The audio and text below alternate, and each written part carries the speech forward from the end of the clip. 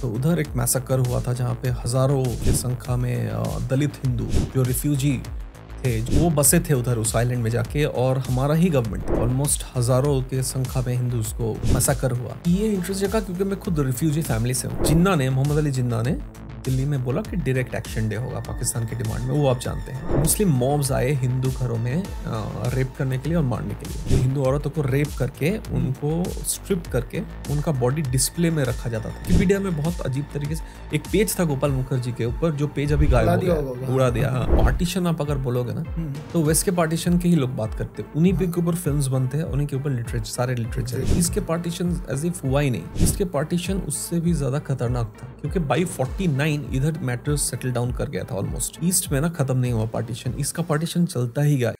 नमस्ते दीप सर। नमस्ते। द ज्ञान जरहट के शो में आने के लिए आपका बहुत बहुत धन्यवाद। Thank you so much sir कैसे हैं आप? एकदम ठीक हूँ। आप कैसे हैं? बस एकदम बढ़िया सर।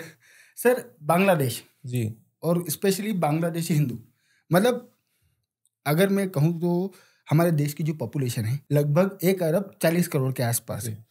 और अगर हम लोग हमारे यहाँ पे जर्नलिस्ट और एकेडमिक जो कम्युनिटी है, उसकी बात करें तो उसकी भी अच्छी खासी आबादी है। लेकिन अगर हम लोग यहाँ पे हमारे देश के अंदर बांग्लादेश के बारे में बात करने वाले जर्नलिस्ट और एकेडमिक कम्युनिटी के लोगों की बात करें, और उसमें भी अगर हम लोग स्पेशली बांग्लादेश में रहने वाले बांग्लादेशी हिंदूज के बारे में बात करने वाले लोगों की बात करें तो मुझे ऐसा लगता है कि इस देश के अंदर उनकी आबादी उतनी ही है जितनी कि आज की तारीख में अफ़गानिस्तान के अंदर सिख बचे ऐसा क्यों?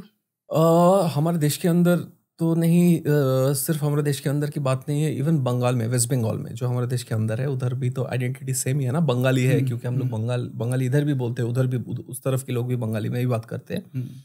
तो इधर भी बंगाली हिंदू के बारे में वेस्ट बंगाल में बात बहुत कम लोग करते हैं। इट इज़ एज इफ़ कि वो लोग एग्जिस्ट नहीं करते और एग्जिस्ट करते भी है उनको कोई दिक्कत भी होते हैं तो उनको लेके बात नहीं होता। तो ये प्रॉब्लम तो अगर वेस्ट बंगाल में है जहाँ पे इतने सारे कम्युनलिटी है बांग्लादेशी हिंदूज के साथ क्योंकि दोनों तरफ़ ही बंगाली है बंगाली बोलने वाले लोग हैं और बंगाली कल्चर एक ही कल्चर के लोग हैं। अगर इतना कम बात वेस्ट बंगाल में होते हैं तो इंडिया तो सोच ही रहे हो तो बहुत दूर हो गया बांग्लादेश से।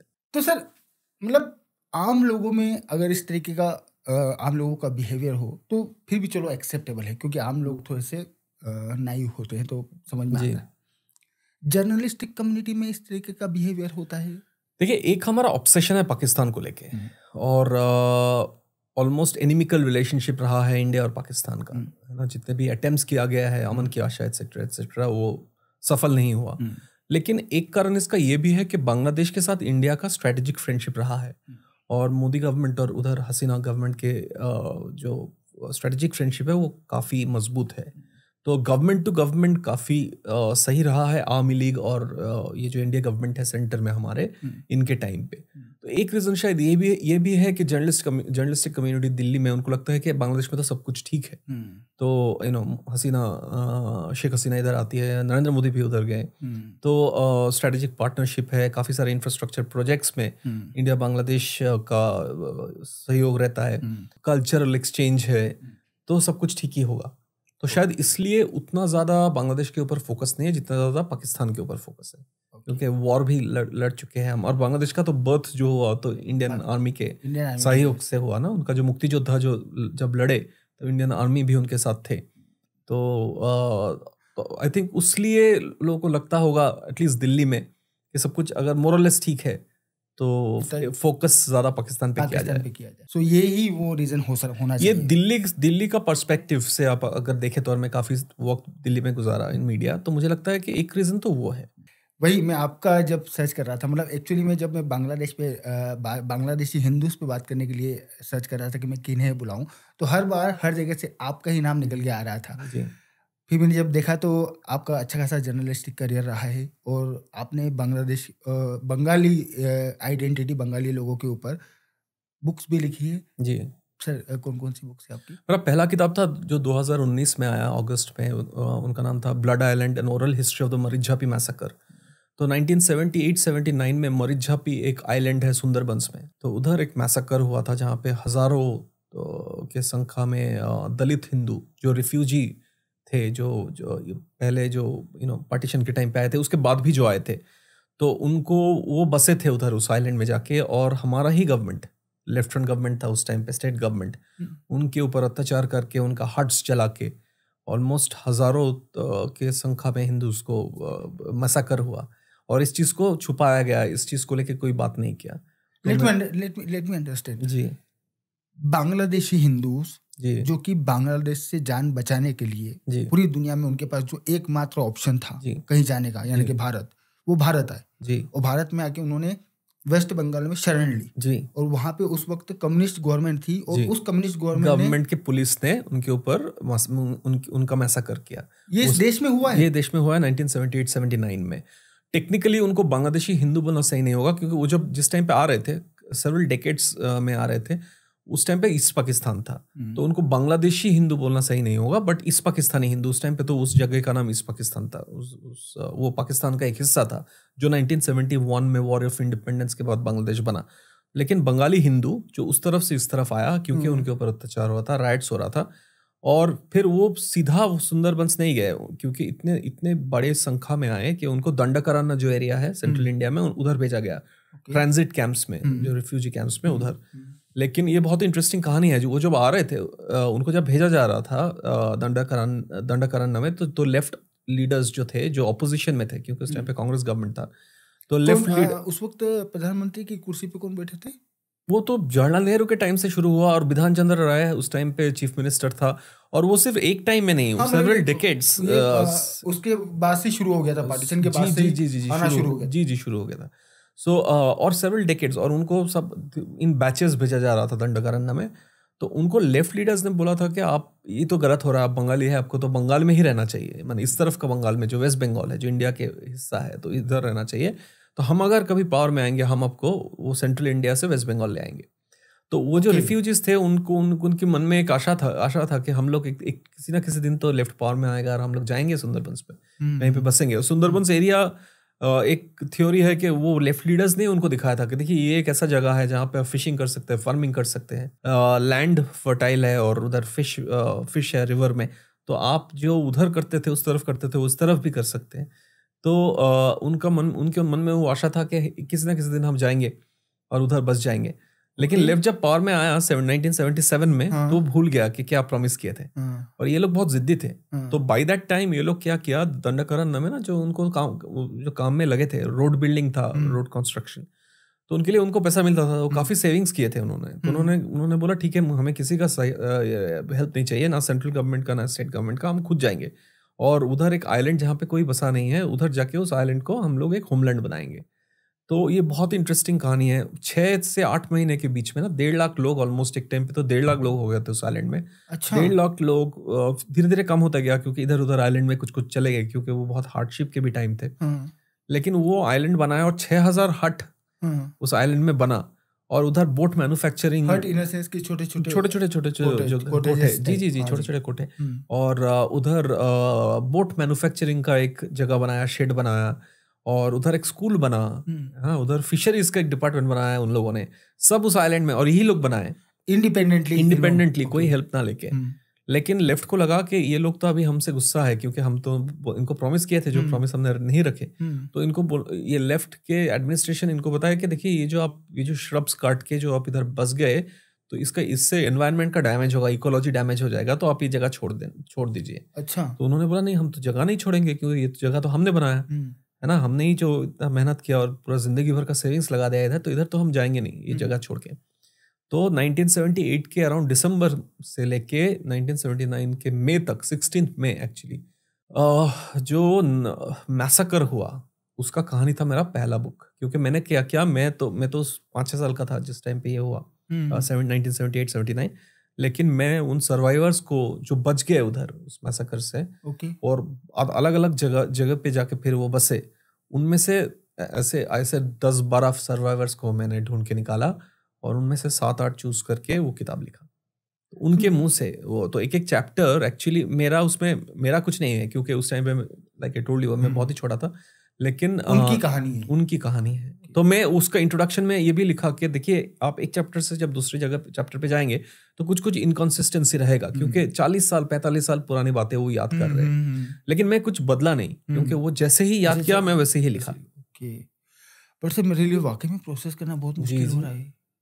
इस देश के अंदर ऐसा भी मैंने लाइफ में पहली बार सुना है जी और ये जो मैसाकर था देखिए मैसाकर मैसाकर ये नहीं कर, किया जा सक करना नहीं चाहिए। कौन सा मैसाकर बड़ा था कौन सा को, कोई भी मैसाकर खराब होता है। But in terms of share in terms of share numbers. जो एट्टी uh, फोर में हुआ था हाँ। उससे काफ़ी बड़ा मैसाकर था ये अगर हम लोग सर मोटा मोटा बात करें तो कितने लोगों की जान देखिए इसमें ना लेफ़्ट गवर्नमेंट का जो जो एक ऑफिशियल uh, एक फिगर है वो है दस से कम लेकिन अच्छा। मैं हाँ और उसमें वो बोलते हैं कि चार पुलिस वाला भी है जो इनकी हाँ, तरफ़ से मारा गया हाँ। तो इनकी तरफ़ से भी मारा गया होगा हम्म, क्योंकि हम्म। बहुत फाइट्स होते थे हम्म, लेकिन वो उनके पास बंदूक नहीं थे। हम्म, वो वो जो स्पीयर्स बनाते थे उससे मार मारते थे या हम्म। जो बो एंड एरो था। बेसिक हम्म। जो फाइटिंग इक्विपमेंट था उससे उससे मारते थे और उधर से तो लॉन्च के ऊपर से गोली चलाते थे।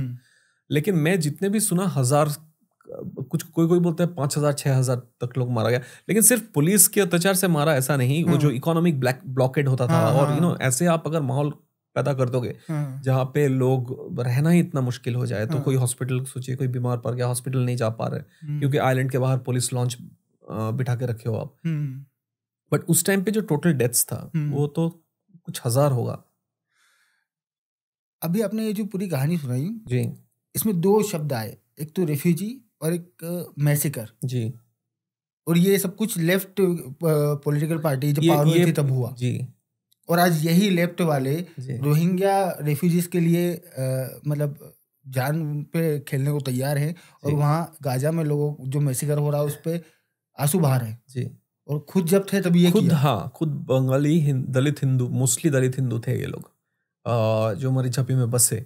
तो इनके ऊपर ये मैसेकर होता और ये ये चीज़ अमिताभ घोष है हम्म, नॉवलिस्ट ओके। ये पहली बार मेन स्ट्रीम में जो देखिए इसके ऊपर एकेडमिक पेपर्स का, का, काफ़ी सारे अच्छे एकेडमिक पेपर्स हैं जो बाहर के यूनिवर्सिटीज में लिखा गया लेकिन इसके ऊपर जो पहले मेन स्ट्रीम बुक था वो हाँ। था अमिताभ घोष का हंगरी टाइड ओके ठीक है उसमें ये लेकिन वो नॉवल था तो हम्म। उसमें ये बैकड्रॉप था हमारे छापी के मैसेकर हम्म, तो उससे पहले बंगाली में किताब आया हम्म। लेकिन इंग्लिश में शायद इस तरह का किताब जो एक्चुअली सर्वाइवर्स को ढूंढ के निकाले और उनका बात किया वो मेरा ब्लड आइलैंड था जो 2019 में जो एक्चुअल लोगों जो लोगों के मुँह से जो हम्म, उधर जो बस बसे थे उसमें तृणमूल कांग्रेस का एक एमएलए भी है जो अब अब आज के दिन में तृणमूल कांग्रेस के है बंगाल में। अच्छा, जी, वो भी वो भी सर्वाइवर है उस मसाकर का तो उसने तो भर भर के गाली दिया लेफ़्ट को। तो अच्छा। वो भी है जी। ओके। वो वो बहुत बड़े लेखक लेखक भी है वो दलित राइटर है तो वो जयपुर लिट फेस्ट आप ही के जयपुर लिट फेस्ट में आते जाते रहते हैं। अच्छा। जी मनोरंजन व्यापारी। तो उन, उनके ऊपर भी एक चैप्टर है। पता है मेरे को मतलब ऑनेस्टली मेरे को अभी लग रहा है कि वाकई में मेरा पॉडकास्ट जो मैंने जिस मकसद के साथ मैं पॉडकास्ट शो शुरू किया है वाकई में ये सार्थक है। क्योंकि लोगों तक इतिहास पहुँचना चाहिए असली इतिहास जो इस देश के अंदर हुआ है। जी। वो भी मतलब लोगों को सभी पता होना चाहिए हर चीज़ पता होना चाहिए। और ये- आज भी अगर अगर आप ट्विटर पे जाए और मरीचा भी डे मनाया जाता है हर साल हम्म, छोटा तरीके से वो सुंदरबंस में ही मनाते हैं मरीचा भी थर्टी फ़र्स्ट जनवरी को हर साल।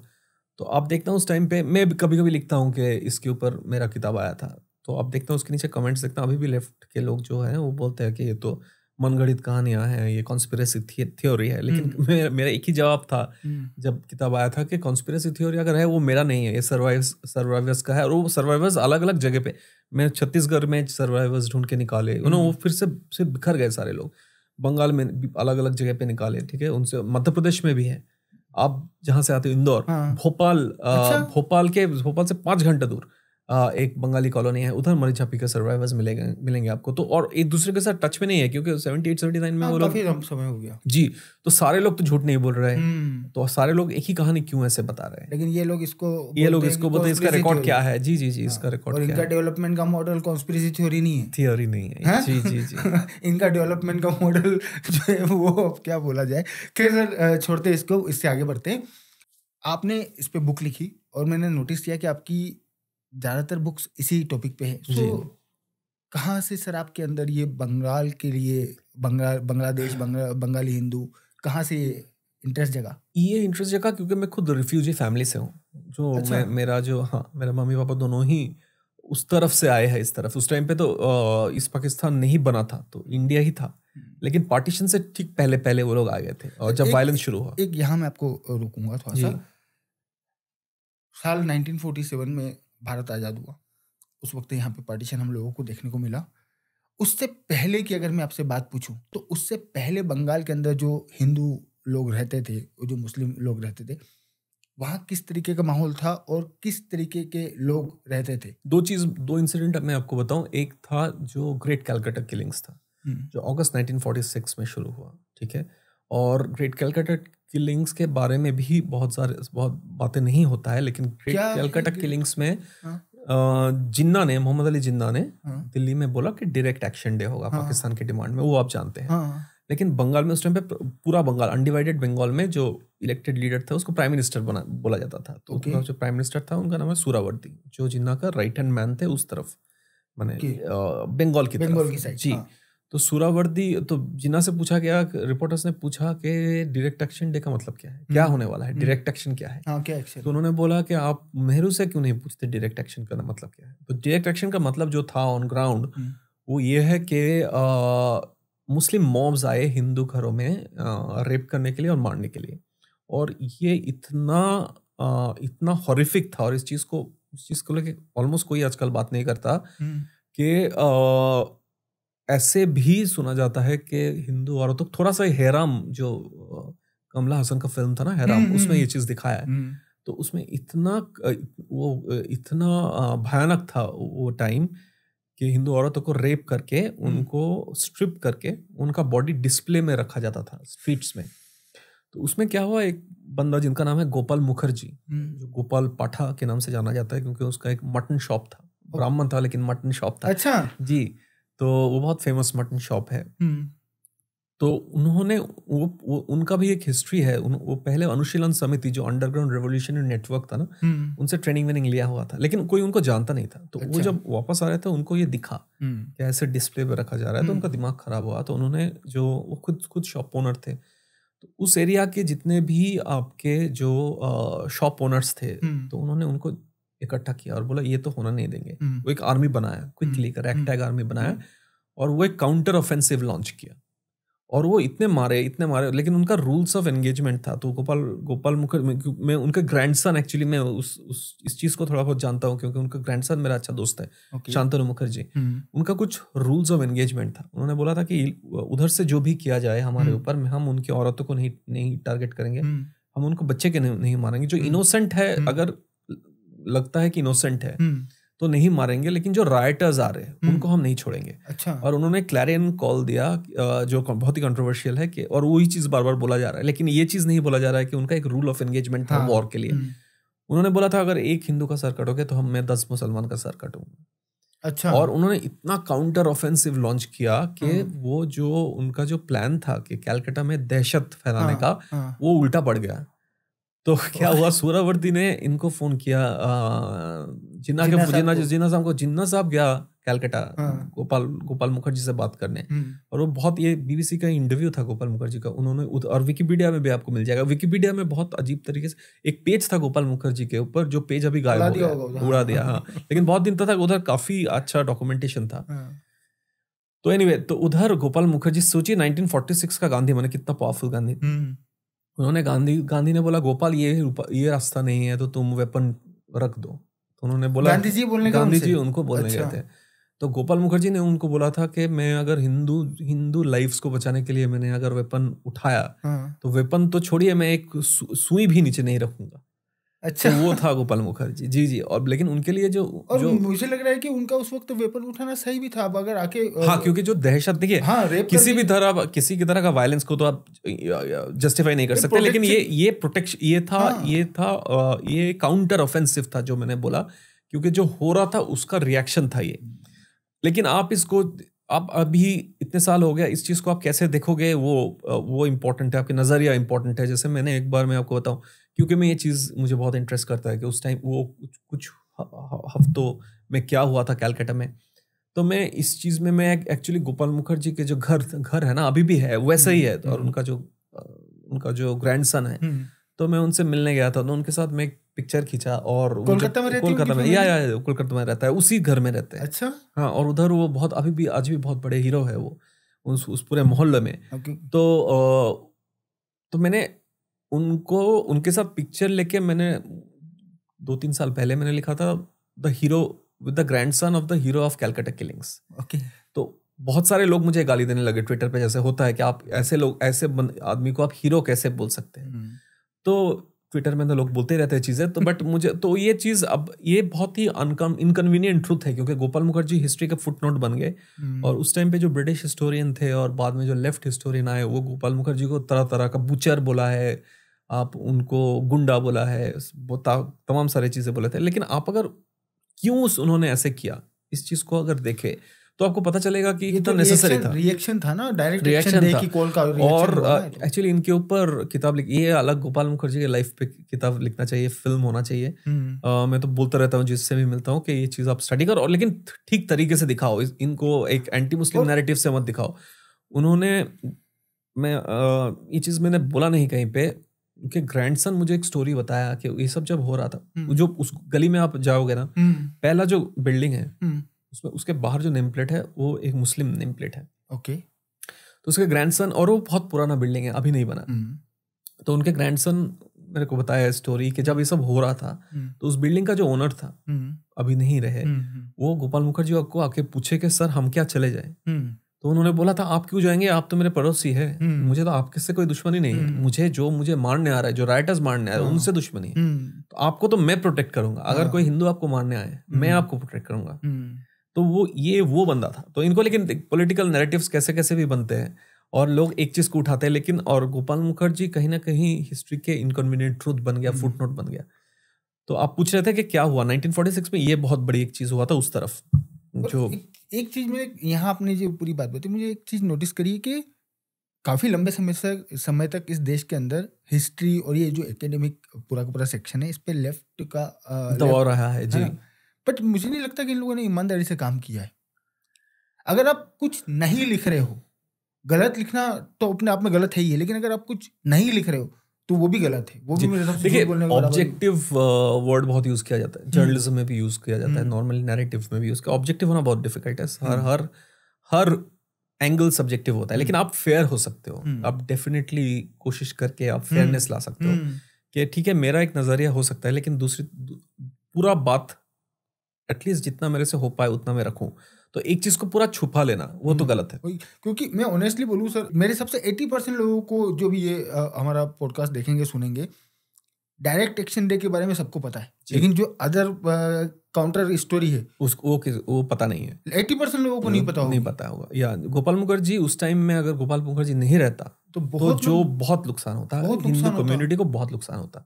वो हिंदू कम्युनिटी उस उस जगह का कैलकाटा का जहाँ से हम्म। मैं आता हूँ उस जगह का हिंदू कम्युनिटी का तो उस टाइम का सेवियर था ओके क्योंकि उस टाइम पे तो गांधी का विजन नहीं चलता क्योंकि वो इतना माने इतना रेप्स और इतना किलिंग्स हो रहा था हम्म। कि वो अगर काउंटर ऑफेंसिव नहीं लेकिन मैं बोला ना उन्होंने रूल्स ऑफ़ एंगेजमेंट अब इस पर भी बहस होता है कि जब काउंटर ऑफेंसिव लॉन्च हुआ तब क्या सारे लोग याद रखा हम्म। कि ये सब नहीं करना है वो वो मुझे पता नहीं है हम्म। लेकिन ये ज़रूर है कि उनके जो उनके जो उनके जो डिक्टाट थे वो ये आप ये थे कि आप उनकी तरह बिहेव नहीं कर सकते हो। अपने स्टैंडर्ड सेट कर जी जी जी लेकिन उस मैडनेस में हुआ होगा कुछ। लेकिन उनका जो नज़रिया था क्योंकि मैं इस चीज़ को स्टडी कर चुका हूँ हम्म। काफ़ी मैं बहुत मैं उनका राइटिंग्स वो सब चीज़ बाहर नहीं आया। हम्म। ठीक है गोपाल मुखर तो शांतनु के पास क्योंकि उनके ग्रैंडफादर थे उनके पुराने पिक्चर्स उनके जो डायरी एंट्रीज है उनकी जो चिट्ठियाँ हैं वो सब मैं देख चुका हूँ। तो मैं इनफैक्ट प्रिंट में जहाँ के लिए मैं लिखता हूँ तो उसके उसमें मैं शांतनु मुखर्जी का भी इंटरव्यू भी कर चुका हूँ। अच्छा। हाँ बंगाली में है लेकिन इंग्लिश में सब टाइटल है मैं आपको पॉडकास्ट हम्म। के बाद दूँगा वो। तो वो आ, वो बताते हैं कि क्या क्या हुआ था उस टाइम पे। तो लेकिन आप उनको उनका देख उनका ही was not anti Muslim but उनका ये था कि तुम अगर मुझे तो मारने आओगे मैं तुम्हें छोड़ने मैं सोच रहा हूँ कि ऐसा करते हैं अगली बार जब भी आपके पास समय हो जी। एक पॉडकास्ट अपन लोग डेडिकेटेडली इन्हीं के ऊपर कर देते हैं। जी जी आप और मैं आ, सिर्फ़ आ, मेरे से नहीं है मैं उनके ग्रैंड साहब को भी ले आऊँगा तो बेस्ट इससे वैसे कुछ भी नहीं हो सकता मैं उनको रिक्वेस्ट करूँगा कि वो भी आ जाए आपके पास और वो भी बताए। तो अपन एक पूरा पॉडकास्ट करते हैं ताकि लोगों को एक्चुअल उनकी स्टोरी पता चले लोगों को ये भी पता चले कि सिर्फ़ वहाँ पे डायरेक्ट एक्शन दे नहीं हुआ था। उसके काउंटर में भी लोग खड़े हुए थे। कैसे उन लोग उस उस वक्त वहाँ रहने वाली हिंदू पॉपुलेशन को प्रोटेक्ट किया गया है ना? कैसे गांधी जी की बातों को ओवर रूल करके भी आ, और उस टाइम के गांधी को इतना एरोगेंटली जवाब देना जवाब देना। कि मैं आपकी बात नहीं सुनूँगा। वो हाँ। अपने आप में बहुत बड़ी चीज़ सर डेफिनेटली इसके ऊपर हम लोग एक पॉडकास्ट शुरू डेफिनेटली एक पॉडकास्ट रिकॉर्ड करेंगे। ज़रूर।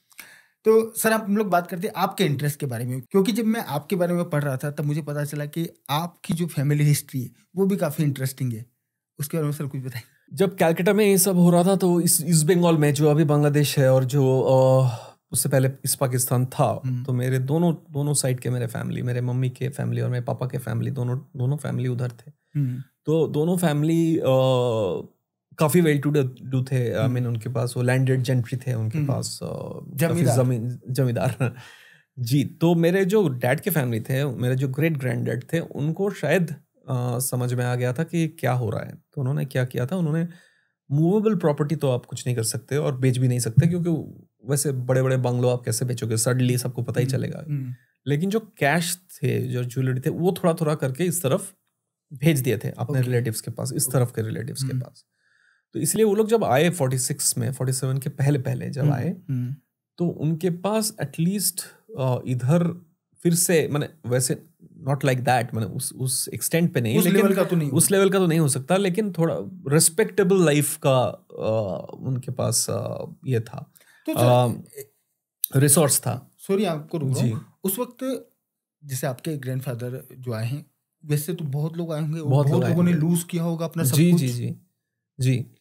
मैं आपको बताऊँ मैं एक स्टोरी किया था प्रिंट के लिए आई थिंक अगस्त या सितंबर लास्ट ईयर में आया स्टोरी उसका वीडियो भी है हम्म।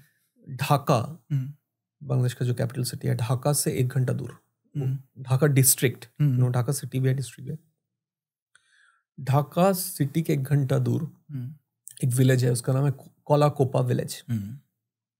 वो एक पूरा विलेज है डिजर्टेड हिंदू हवेलीज का उसमें इतने सुंदर सुंदर हवेलीज है अच्छा हाँ तो उधर वो एक पूरा विलेज है सिर्फ़ जिसमें हवेली है आज भी है आज भी है वैसे ही है okay. तो अभी अभी कंडीशन अच्छा नहीं है कुछ कुछ हवेली का हम्म। लेकिन अब अभी भी आपको देख के जो गार्डन है जो स्टैचूज है जो शैंडलियर्स है आपको देख के पता चलेगा एक टाइम पे कितना उधर रिच कल्चर रिच कल्चर था हम्म। और रिच हेरिटेज था हम्म। तो वो वो शायद इसलिए बनाया गया था तो ये उधर जो इधर बिज़नेस कम्युनिटी के लोग थे हिंदू हिंदू जो बिज़नेस रिच बिजनेसमैन थे जमींदार थे तो ढाका के एकदम पास है तो शायद उन, वो उस इस बंगाल के दूर दूर से दूर दूर में उनका घर था हम्म। लेकिन ढाका आना जाना होता था हम्म। क्योंकि ढाका एक इम्पोर्टेंट सेंटर था बिज़नेस हम्म। का तो, एक तो एकदम होता है ना एक मेन जगह से पास आप एक घर खरीद के रखे आउटर में आउटर में हाँ। तो वो पूरा विलेज ही वैसा है और अच्छा। आज उधर कोई नहीं है आज उधर मुझे एक हिंदू गोल्ड स्मिथ मिला जो स्वर्णकार है ना हाँ। और उधर वो सारे बिल्डिंग्स में कोई government government principal government college के प्रिंसिपल या सोचिए उनका पैरामिलिट्री फोर्स का ऑफ़िस ये सब बना हुआ है या लॉयर बना हुआ है okay. लेकिन उन मैं उन अंदर जाके उन लोगों से बात भी किया और बहुत अच्छे से बोले कि हाँ हम्म। इधर शायद कोई रहते थे मैं तुम मैं पूछा आपको पता है कौन रहते थे हम्म। बोला नहीं वो तो नहीं पता कौन रहते थे लेकिन हम्म। हम तो इधर अभी अभी आए हैं कुछ साल पहले आए हैं। लेकिन हमें पता है कि वो रहते थे और बहुत बहुत ही रईस होंगे तो कोई जैसे घर बनाए। सर जब पार्टीशन हुआ सन 1947 में जी।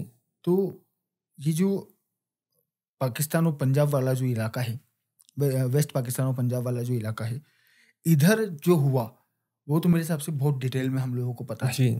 लेकिन जब इस वक्त इस साइड ये सब कुछ हो रहा था लड़ाई झगड़े हो रहे थे खून की लाशों से भरी हुई ट्रेनें आ रही थी जा रही थी तो पार्टीशन तो बंगाल साइड भी हुआ तो उस वक्त इधर की तरफ़ इधर की तरफ़ क्या हो रहा था ये बहुत ही अजीब चीज़ है कि क्यों इंडिया में आज भी जितना जितना पार्टीशन आप अगर बोलोगे ना हम्म। तो वेस्ट के पार्टीशन के ही लोग बात करते हैं उन्हीं हाँ। के ऊपर फिल्म्स बनते हैं उन्हीं के ऊपर लिटरेचर सारे लिटरेचर इसके पार्टीशन एज इफ़ हुआ ही नहीं हम्म। लेकिन एक हिसाब से इसके पार्टीशन उससे भी ज़्यादा खतरनाक था क्योंकि बाई फोर्टी नाइन इधर मैटर सेटल डाउन कर गया था ऑलमोस्ट 1949 वेस्ट में। ईस्ट हम्म। में ना खत्म नहीं हुआ पार्टीशन इसका पार्टीशन चलता ही गया। इन द सेंस लाइन तो ड्रॉ हो गया था हम्म। कौन सा ये ये देश है वो हम्म। अलग देश है। इस पाकिस्तान फिर बाद में सेवेंटी वन में बांग्लादेश बने। लेकिन जो हिंदू पॉपुलेशन रह गया था ना उधर और आज भी है उनके ऊपर अत्याचार चलता रहा।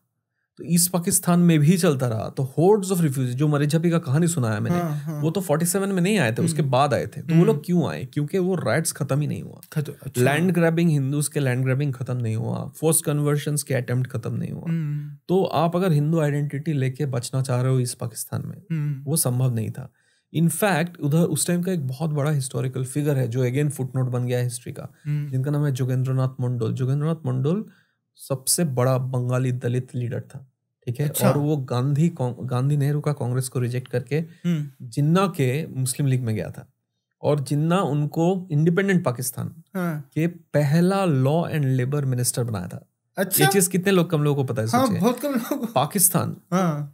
पाकिस्तान पाकिस्तान। के पाकिस्तान के पहले लॉ एंड लेबर मिनिस्टर एक बंगाली दलित हिंदू थे। दलित हिंदू थे? जिनका नाम था जोगेंद्र नाथ मंडल। अरे वाह। जी। और वो बहुत बड़ा लीडर था ठीक है? तो उनका जो पॉलिटिक्स था उस इस चीज़ के ऊपर बेस बेस था कि ये जो अत्याचार होता है दलितों पे ये कौन करता है? ये अपर कास्ट हिंदू करता है हम्म। कास्ट डिस्क्रिमिनेशन करते हैं। हम्म, एक ही एक ही थैली से खाने नहीं देते पानी अलग करते हैं जो भी करते हैं। हम्म, वही चीज़ अपर कास्ट हिंदू मुसलमानों के साथ भी करते हैं। तो पार्टीशन जो हो रहा है इसके इस इसमें दलित क्यों पार्टिसिपेट करे और पार्टिसिपेट करके क्यों उस तरफ़ जाए? अच्छा। मुस, मुसलमान तो उन, उनका भाई है हाँ, क्योंकि क्योंकि अपर कास्ट हिंदू मुसलमान पे भी और दलितों पे भी अत्याचार करते हैं सो एक बहुत बड़ी तादाद का जो लोअर कास्ट हिंदू है ना वो जोगेंद्रनाथ मंडल की बात सुनकर उन, उनको देख के रह गए रह गए थे इस पाकिस्तान में तो ये वो मेन कारण है जिसकी वजह से ये काफ़ी बड़ा कारण है जिसके लिए जिसके लिए जो पार्टीशन हुआ था जब मेरे जैसे फैमिलीज़ मूव किया ना हाँ। तो इनिशियल जो वेव ऑफ़ माइग्रेशन हुआ हाँ। था वो मोस्टली अगर कास्ट आइडेंटिटी के हिसाब से आप देखें वो mostly upper class upper caste Hindus Bengali upper class upper caste Hindus आए थे। ओके जो lower class lower caste Hindus थे जो उधर ही वो उधर ही रह गया और उनका हीरो था और पॉलिटिकल लीडर था जोगेंद्रनाथ मंडल और बाद में उन्होंने क्या किया? बाद में उन्होंने कुछ नहीं किया। उन, उनको भी बहुत दुख लगा ये देख के कि उनका जो आइडिया था वो फेल हो गया हाँ। क्योंकि वो राइट स्टॉप नहीं हुआ। हाँ तो जो लोअर कास्ट हिंदूज को उधर के मुसलमान जो राइट करते थे हम्म। सारे मुसलमान नहीं शायद बट जो मुसलमान उनको उनके ऊपर अत्याचार करते थे हम्म। वो सिर्फ़ हिंदू हिंदू आइडेंटिटी देखा लोअर कास्ट अपर कास्ट नहीं देखा उधर तो जिन्ना ने तो रिलीजन के नाम पे ही मांगा नाम ना पे क्या जो दो जिन्ना ऑफिशियली बोला कि पाकिस्तान भी सेक्युलर कंट्री है सबके सबके लिए जगह है लेकिन वो हुआ नहीं एटलीस्ट पाकिस्तान का मैं बात कर सकता हूँ उसमें उधर हुआ नहीं और राइट्स कंटिन्यू किए तो ये लोग जब आए इन वैसे तो ये लोग गरीब भी थे हम्म। मोस्टली गरीब थे हम्म, हम्म। और जोगेंद्रनाथ मंडल को देख कर रुक गए थे तो हम्म। उनके पास तो कुछ नहीं था। यही लोग फिर कैलकाटा में आए और उनको दंड इसी में से एक एक हिस्सा फिर उसको दंडकरन्ना में भेजा गया। तो उनके साथ बहुत फिर वो जब उन उनमें से एक हिस्सा जब गया मरी झापी में उनके ऊपर। मैसेकर हो गया। जगन्नाथ मंडल खुद फिफ्टीज में अर्ली फिफ्टीज में law and labour ministers law and labour minister resign किया हम्म, और वेस्ट बंगाल में आए और वो फिर से इधर वेस्ट बंगाल में आके पॉलिटिक्स करना करने की कोशिश किया इलेक्शन लड़ा। हार गया इलेक्शन और वो फिर ही डाइड एन माने ही डाइड अनसंग मेरे को मेरे को एक, एक ये जो आप जो लीडर का अपने नाम बताया जोगेंद्र जोगेंद्रनाथ मुंडू। हाँ जोगेंद्र नाथ मुंडू पाकिस्तान के लॉ मिनिस्टर पहला लॉ एंड लेबर मिनिस्टर थे। ये रिजाइन करने के बाद में वापस इंडिया आए? वापस इंडिया आए बंगाल गए। और मतलब उनको थोड़ा सा विचार नहीं आया क्योंकि उनकी उसी उनकी कॉल पे लाखों लोग उधर फंस लाखों गए। लोग उधर फंस गए। खुद इंडिया बैठ गए। इंडिया आ गए और इधर आके इधर का पॉलिटिक्स करने की कोशिश किए। गजब। और वो फिर हार गए इलेक्शन और फिर वो बहुत ही डिजोल्यूशन होके उनका देहांत हो गया। जगन्नाथ मंडल एकेडमिक्स के और आ, बहुत सारे लोगों के इंटरेस्ट की विषय है बंगाल में। लेकिन उधर क्योंकि मैं बांग्लादेश जाता हूँ तो उधर का जो यंग जो हिंदू बांग्लादेशीज है ना। Specially lower caste. उनमें से किसी की सबको सबके लिए मैं नहीं बोल सकता क्योंकि हम्म। बहुत लोग हैं अभी भी उधर। अ, कुछ कुछ लोगों से जो मैंने बात किया वो लोगों को जो जोगेंद्रनाथ मंडल का बात किया वो तो विलेन बोलते हैं बोलो तो विलेन थे अच्छा हाँ एकदम तो बोलते हैं है। तो वो विलेन थे बोलो तो इनको सेलिब्रेट करने का कोई ज़रूरत हाँ नहीं उनकी वजह से फंस गए वो लोग वहाँ पे जी शायद उन्होंने कुछ और सोचा था और कुछ और हो गया लेकिन जो भी है जो उनका हो- जो उनका जो सोशल एक्सपेरिमेंट था वो फेल ऑनेस्टली मैं मतलब इतना ज़्यादा मेरे को मतलब मैं नॉलेज नहीं है लेकिन फिर भी एक कहावत है ना अगर शिप डूबता है तो शिप का कैप्टन उसके साथ में डूबता जी है। जी जी। वो तो कैप्टन थे ना। शिप का कैप्टन लेकिन आ गए थे इस हाँ, तरफ़ पर उनका हक ही नहीं बनता था आने का। अगर सब अगर वो उनका आइडिया फेल भी हुआ तो उधर ही उधर ही रहना चाहिए था उन्हें उन लोगों के साथ में जो उनके कहने मतलब ये मेरा पर्सनल ओपिनियन है ये इम्पोज कर रहा हूँ पर्सनल ओपिनियन लेकिन अ, मुझे ऐसा लगता है मैं एक्चुअली उनका घर ढूंढ के निकाला बांग्लादेश में ना हम्म, मेरा जो को ऑथर है मेरे रिसेंट किताब के बीइंग इन बांग्लादेश तो उनको मेरे को ऑथर को बहुत इंटरेस्ट है इस, इनके सब्जेक्ट पे तो मैं उनका बरिशाल डिस्ट्रिक्ट है बहुत बड़ा हाँ। डिस्ट्रिक्ट है उधर उनके जा, जाके उनका घर निकाला तो कुछ नहीं है जो उनका घर वर है ना उधर हम्म। बाद में इस अभी बांग्लादेश के लिए भी वो अनकंफर्टेबल ट्रूथ है हम्म। क्योंकि उस टाइम पे तो बांग्लादेश था नहीं उस हम्म। इस पाकिस्तान था तो। बांग्लादेशी मुसलमानों के ऊपर भी पाकिस्तानी आर्मी बहुत क्रूअल्टी किया। हम्म, तो जोगन्नाथ मंडल को कोई ऑफिशियली रिमेम्बर नहीं करते लेकिन वो बहुत एक टाइम का तो बहुत बड़ा लीडर था उस उस जगह का। बट मुझे लगता है सर ये वाली कहानी भी मेरे हिसाब से अस्सी परसेंट लोगों ने नहीं सुनी नहीं सुनी पहली बार सुनेंगे सब जी लोग। जी जी। और मेरे हिसाब से आज न जाने कितने लोगों को इस सवाल का जवाब मिलेगा कि आखिर इतनी तादाद में हिंदू बांग्लादेश के अंदर क्यों रुके? एटलीस्ट जो लोअर कास्ट हिंदूज थे ना सारे नहीं हाँ। उसमें अपर कास्ट हिंदूज भी अभी भी है बांग्लादेश हाँ। में। लेकिन लोअर कास्ट हिंदूज के एक लार्ज चंक का ही उस टाइम का लीडर तो जगन्नाथ मंडल था। उनकी बहुत उनकी। कॉल पे रुक गए उनके कॉल पे रुक गए होंगे क्योंकि उन्होंने बोला था ये चीज़ कि आप हम लोगों को जाने का ज़रूरत नहीं है क्योंकि हम्म। जो चाह रहे हो तो अपर कास्ट हिंदू है। और यही अत्याचार करते थे हमारे ऊपर यही डिस्क्रिमिनेट करते थे और हम्म। मुसलमानों पर भी उतना ही करते थे जो हिंदू पे करते सर अब थोड़ी सी बात करते हैं साल 1971 के बारे में। जी। 1947 के बाद जैसे आपने बताया स्थिति कोई इतनी विशेष अच्छी थी नहीं लगातार अत्याचार हो रहे थे। और साल 1971 में तो अत्याचार इतनी बड़ी तादाद में हो गए कि बहुत बड़े लेवल पे रिफ्यूजीज का नंबर इंडिया आया, है ना? तो ये जो अत्याचार हुए, वॉर के नज़दीक जाते जाते जो अत्याचार हुए, इसमें ज़्यादा अत्याचार किस कम्युनिटी पे हुए? क्योंकि इसको लेके मैंने सोशल मीडिया पे जो पढ़ा, है ना? और जो कुछ थोड़ा सा अथेंटिक सोर्सेज से भी मैंने पढ़ा तो उसमें मेरे को यही बात निकल के आई कि हिंदू कम्युनिटी को ज़्यादा टारगेट किया गया। वहाँ पे देखिए अत्याचार मुसलमानों पे भी हुआ रेप कैंप्स बिठाया गया। इतना रेप मॉडर्न हिस्ट्री में तो हुआ नहीं। जो जो उस पा, ईस्ट पाकिस्तान जब बांग्लादेश बना हम्म, उस टाइम पे वेस्ट पाकिस्तानी आर्मी जो रेप कैंप बिठा कर रेप हम्म। किया। लेकिन अ, एक टर्म यूज़ किया जाता है एकेडमिक्स यूज़ करते हैं और वेस्टर्न एकेडमिक्स यूज़। करते हैं। उस टर्म का नाम है सिलेक्टिव जेनोसाइड पाकिस्तान का मतलब क्या है? Pakistan the word Pakistan comes from the word pak pak मतलब pure Pakistan literally means land of the pure तो इस पाकिस्तान में जो बांग्लादेश बनने की कोशिश कर रहा है हम्म, उसमें वेस्ट पाकिस्तान का नज़रिया से और हम्म, इस नज़रिए से इम्प्योर क्या है? हिंदूनेस इम्प्योर है। है ना? हाँ, तो बंगाली लैंग्वेज बंगाली कल्चर जहाँ पे हिंदुइज्म है जहाँ। वही वही लैंग्वेज वही कल्चर जिसमें रविंद्रनाथ टैगोर इतना इम्पोर्टेंट है। रविंद्र संगीत उनका म्यूज़िक जो इतना। इम्पोर्टेंट है। और जिस कल्चर में दुर्गा पूजा इतना इम्पोर्टेंट है वो दुर्गा पूजा जो बंगाली मुसलमान भी देखते हैं एटलीस्ट एक परसेंटेज हम्म। देखते हैं सर एक सेकंड यहाँ रुक के मेरे को बस फटाफट से आपसे एक क्वेश्चन पूछना है। कि जो बंगाल का पूरा का पूरा इलाका है हम लोग एक सेकंड के लिए मान रहे हैं कि बांग्लादेश और ये बंगाल हमारा वेस्ट बंगाल पूरा वेस्ट बंगाल पूरा एक ही है ये जो पूरा का पूरा एरिया है इसमें ये जो बंगाली कल्चर है बंगाली आइडेंटिटी है ये रिलीजन और इन सबसे ऊपर क्यों उठती है मतलब ऐसा क्या खास है? बंगाली सब नेशनलिज्म है क्योंकि हमें बहुत गर्व है हम्म, मोस्ट बंगालीज को बहुत ज़्यादा गर्व है कि हमारा जो कल्चर है हमारा जो लैंग्वेज है हम्म। वो काफ़ी। अ, काफ़ी रिच है हाँ। जी और है भी क्योंकि। रविन्द्रनाथ टैगोर और शरद चंद्र और बंकिम चंद्र काफ़ी सारे ऐसे फिगर्स कभी नजरुल इस्लाम यू नो हम्म। काफ़ी सारे ऐसे फिगर्स है हम्म। जो माइकल मधुसूदन दत्त जो बहुत एनरिच किया है बंगाली लिटरेचर को बंगाली कल्चर को बंगाली म्यूज़िक को। हम्म, और उसमें एक स्ट्रीम तो ये भी है जो दो रिलीजन के ऊपर उठ के ये चीज़ को लैंग्वेज और कल्चर को देखा। तो हम्म, कहीं ना कहीं इस चीज़ को बंगाली एक्सेप्शनलिज्म जिसको आप कह सकते हैं हम्म। ये चीज़ को बहुत इंपॉर्टेंस दिया गया।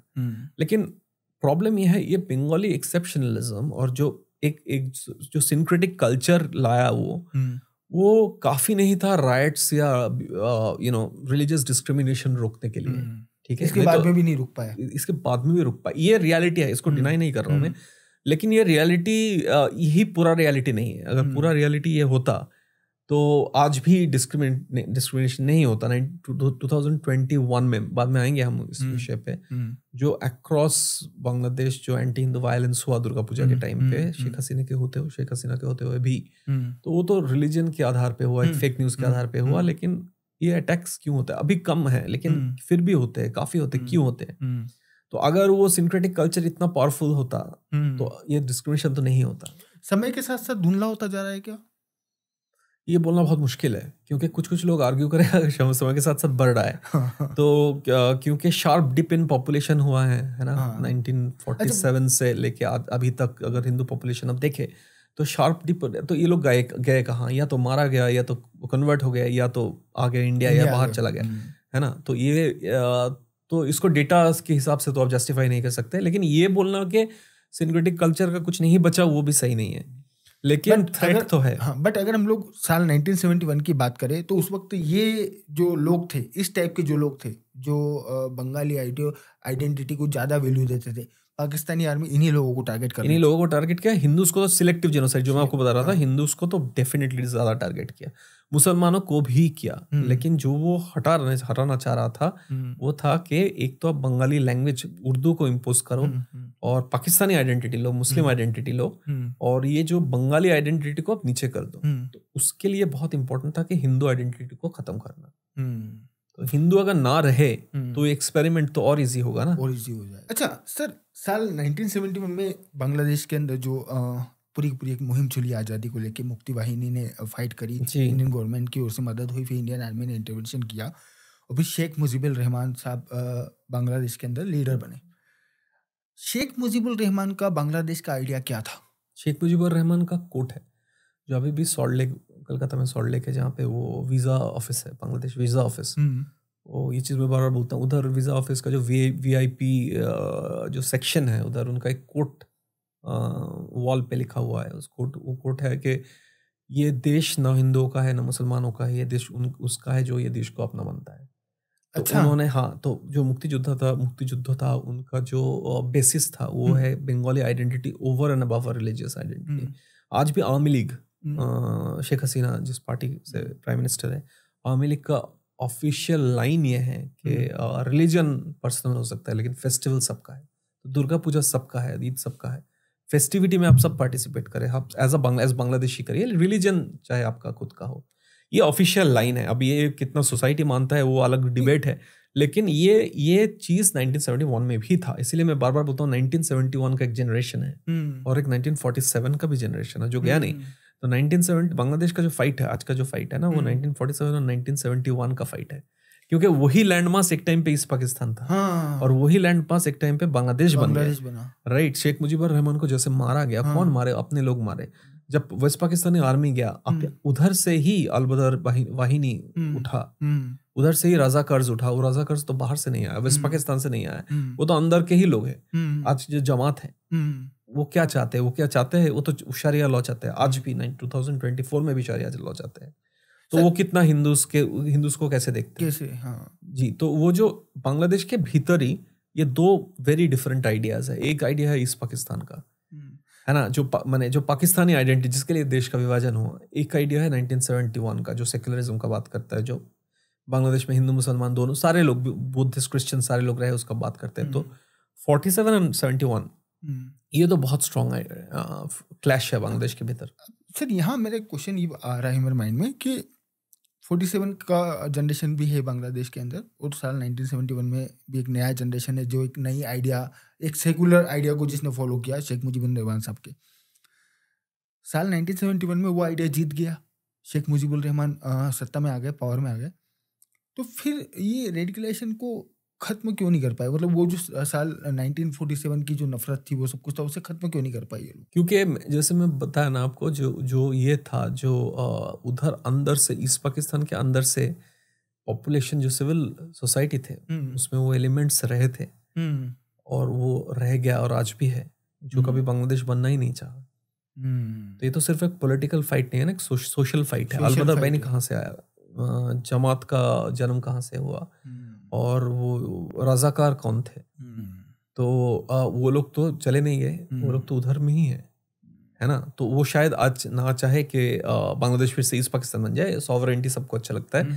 लेकिन क्या वो वो सेक्युलर स्पिरिट को पकड़ के रखना चाहते हैं? ये तो बहुत बड़ी आइडिया बहुत बड़ी एक है क्वेश्चन है। इसलिए मैं बार बार बोलता हूँ कि 47 और 71 क्योंकि 47 भी वही लैंड मास 1947 में ईस्ट पाकिस्तान बना था।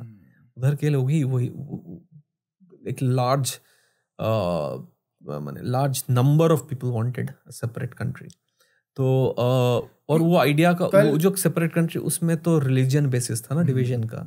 वो चीज़ तो भूलने से कैसे चलेगा? अभी दो दिन पहले यहाँ आप आलोक जी आए हुए थे यहाँ पे आलोक बंसल जी और वही बता रहे थे उन्होंने जब हम लोग ऐसे डिस्कशन कर रहे थे तो उन्होंने ये मुझे ये बात बोली थी कि साल 1947 में रेड क्लिप ने भारत पाकिस्तान का विभाजन नहीं किया। बल्कि उन्होंने दो मुस्लिम मेजोरिटी एरिया यानी कि पंजाब और बंगाल का भी विभाजन किया। अलग बंसल जी तो एक्सपर्ट है हाँ वो एक्सपर्ट जी जी जी। मेरे को खुद मैं काफ़ी उनसे जानने काफ़ी कुछ जानने को मिला। सर अब थोड़ा सा अपन लोग आज के बांग्लादेश पे मूव करने की कोशिश करते हैं मतलब थोड़ा सा करीब आते हैं आज के बांग्लादेश के। सबसे पहले बात करते हैं सर शेख हसीना जी के बारे में। जी। शेख हसीना जी किस तरीके की पर्सन है? क्या वो अपने फादर के आइडिया को फॉलो कर रही है? और कल शेख हसीना जी अगर चली जाती तो फिर शेख हसीना जी के बारे में क्या? दो चीज़ एक तो एक कंट्रोवर्शियल चीज़ आपको बताता हूँ। शेख मुजीब को लेके आप आप ये ऑनलाइन में डिस्कोर्स आपका आपको दिखेगा हम्म, कि शेख मुजीब का रोल क्या था 1946 में जब ग्रेट कैलकाटा किलिंग्स हो रहा था।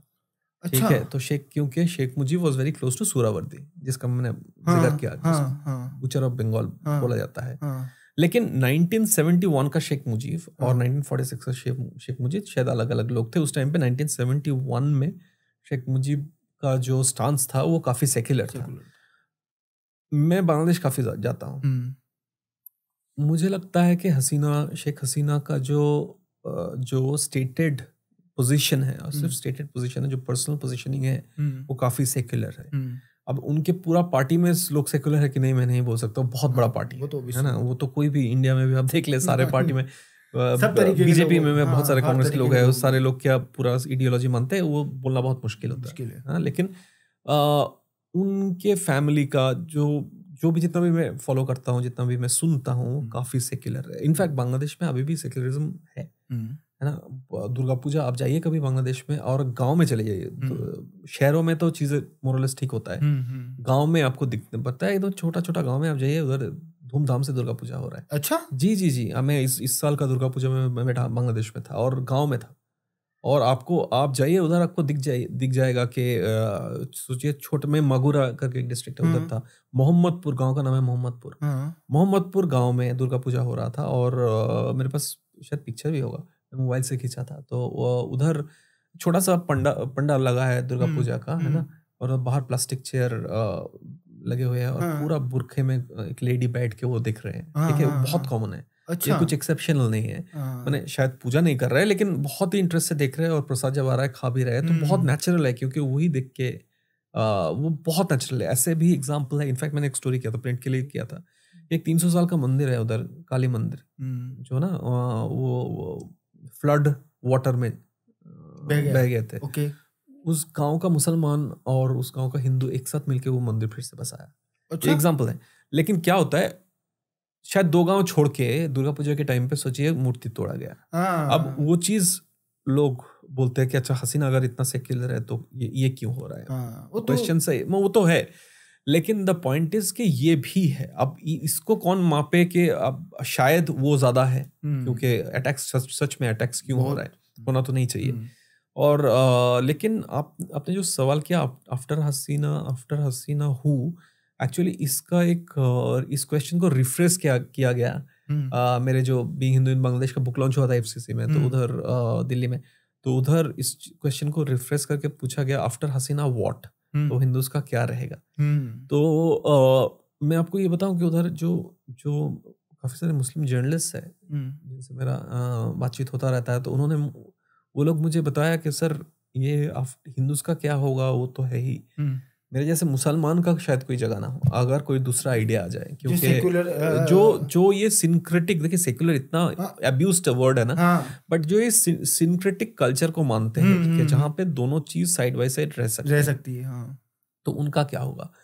तो ये तो बहुत बड़ी चिंता की बात बहुत प्रॉब्लमेटिक है। जी जी जी जी। ये चीज़ आप जितना भी आप दिखा लो हम्म। जैसे मैं आपको बोल रहा हूँ काफ़ी सारे लोग इसको इनको अपोज भी करेगा इस चिंता को कि हम्म। आप क्योंकि उनको दिखता है वो सही भी है कि उनको अटैक्स दिखता है या जो फोर्स कन्वर्शन हो रहा है वो दिखता है लेकिन ये भी एक सच्चाई है। अब सच्चाई का ये कितना है वो कितना है वो तो ऐसे माप के नहीं बता सकता बट वो बहुत ही कंसर्न की रीजन है। या यही एक मेरा क्वेश्चन सर यहाँ पे ये आ रहा है कि शेख अपने शेख हसीना जी जो हैं काफ़ी लंबे समय से बांग्लादेश के अंदर पावर में हैं और बहुत पावरफुल मेरे हिसाब से one of the most powerful lady prime minister में से एक हैं वो।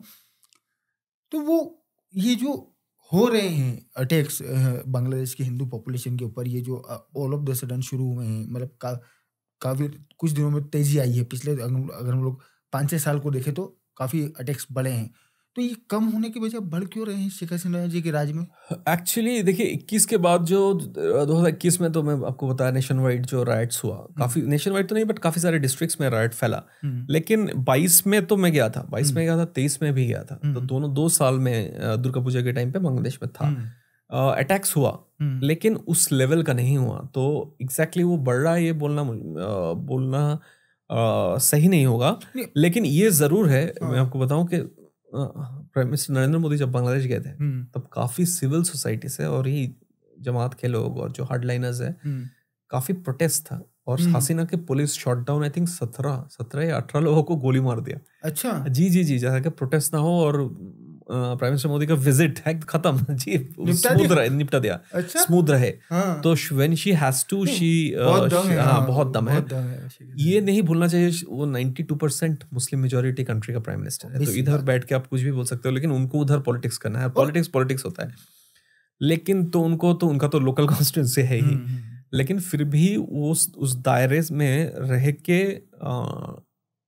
आई थिंक काफ़ी हद तक चीज़ें कंट्रोल में हैं हम्म। लेकिन मुझे एक्चुअली पॉलिटिक्स और पॉलिटिकल पार्टी पॉलिटिकल लीडर से भी ज़्यादा सिविल हम्म। सोसाइटी में क्या हो रहा है वो हम्म। देखना ज़्यादा ज़रूरी है तो उसमें anti Hindu sentiment anti anti India sentiment बढ़ रहा है कि नहीं उस पर आई थिंक राइटर्स जर्नलिस्ट सबको वॉच रखना चाहिए यहीं पे सर मेरा क्वेश्चन ये आ रहा है कि बांग्लादेश की जो आबादी है मतलब मैं तीन कैटेगरी में डिवाइड कर रहा हूँ आबादी को एक आम लोग एक एलिट क्लास और एक पॉलिटिकल क्लास ये तीनों ही कैटेगरी बांग्लादेश में रहने वाले हिंदूज को किस तरीके से देखते हैं ये बहुत डिफ़िकल्ट है मैं आपको बताया ना कि जो देखिए आपको लग सकता है कि जो एडुकेटेड क्लास है या जो एलिट है हम्म। उनमें कंजर्वेटिज्म कम होगा या जो गाँव के लोग हैं उसमें ऐसा नहीं है जैसे हम्म। मैं तो बहुत गाँव में घूमता हूँ क्योंकि ढाका में भी रहता हूँ लेकिन गाँव में घूमता हूँ हम्म। गाँव में जो सिंक्रेटिक कल्चर का मैं बात कर रहा हूँ जहाँ पे दोनों कम्युनिटी साथ साथ एग्जिस्ट कर रहा है हम्म। वो काफ़ी आपका उसमें नज़रिया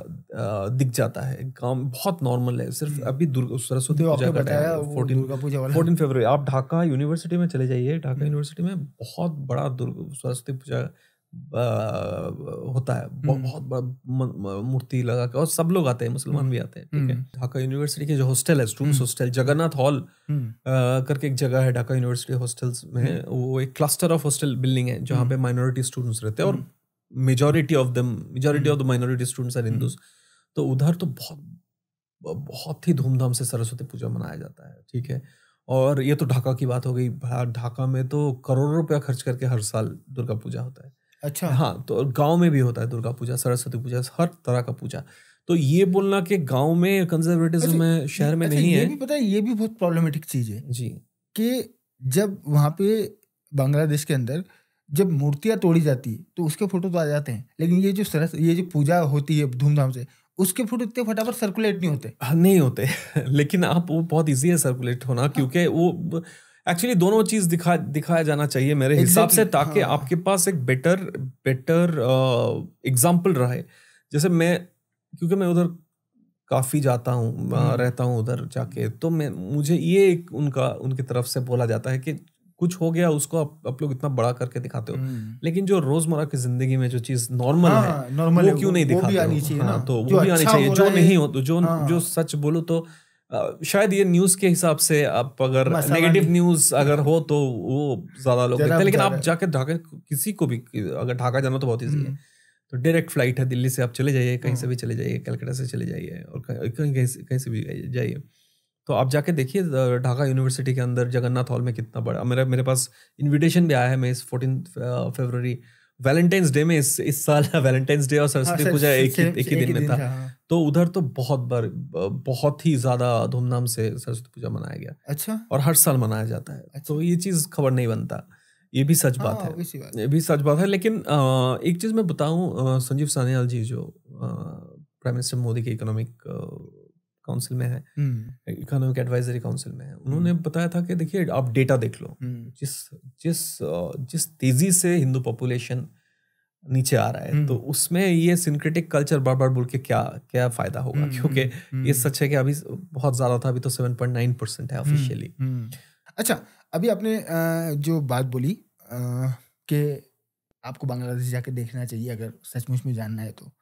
तो यही मेरे माइंड में सवाल आया कि सर अगर मैं जाऊँ मतलब जाने की बात नहीं। बांग्लादेश के जो लोग हैं बांग्लादेश के जो आम लोग हैं वो इंडिया को कैसे देखते हैं? क्योंकि अभी जो वर्ल्ड कप हुआ था। जी जी मैं सोच ही रहा था आप कब पूछेंगे मुझे। इसमें एक चीज़ मैं बताऊँ एक्चुअली ना पहले पहले पहले आप जाते आप कहीं पे भी जाओगे ना किसी चीज़ को भी देखोगे किसी चीज़ को देखोगे उसका आपका जो आपका नज़रिया क्या है उस पर डिपेंड करता है ठीक है? हम्म।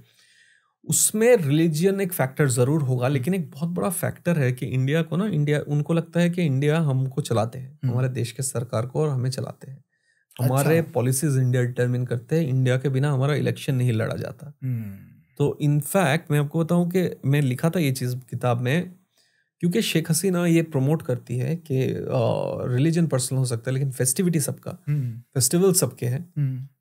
तो इलेक्शन से पहले ना जब वो अपोजिशन रैली निकल रहे थे तो हम्म। उनमें एक स्लोगन था वो बहुत पॉपुलर स्लोगन था। और वो व्हाट्सएप में और फेसबुक में रील्स में आ रहे थे हरे कृष्ण हरे राम शेख हसीना बापेंडम हरे कृष्ण हरे राम शेख हसीना का बाप का नाम है। अच्छा। जी।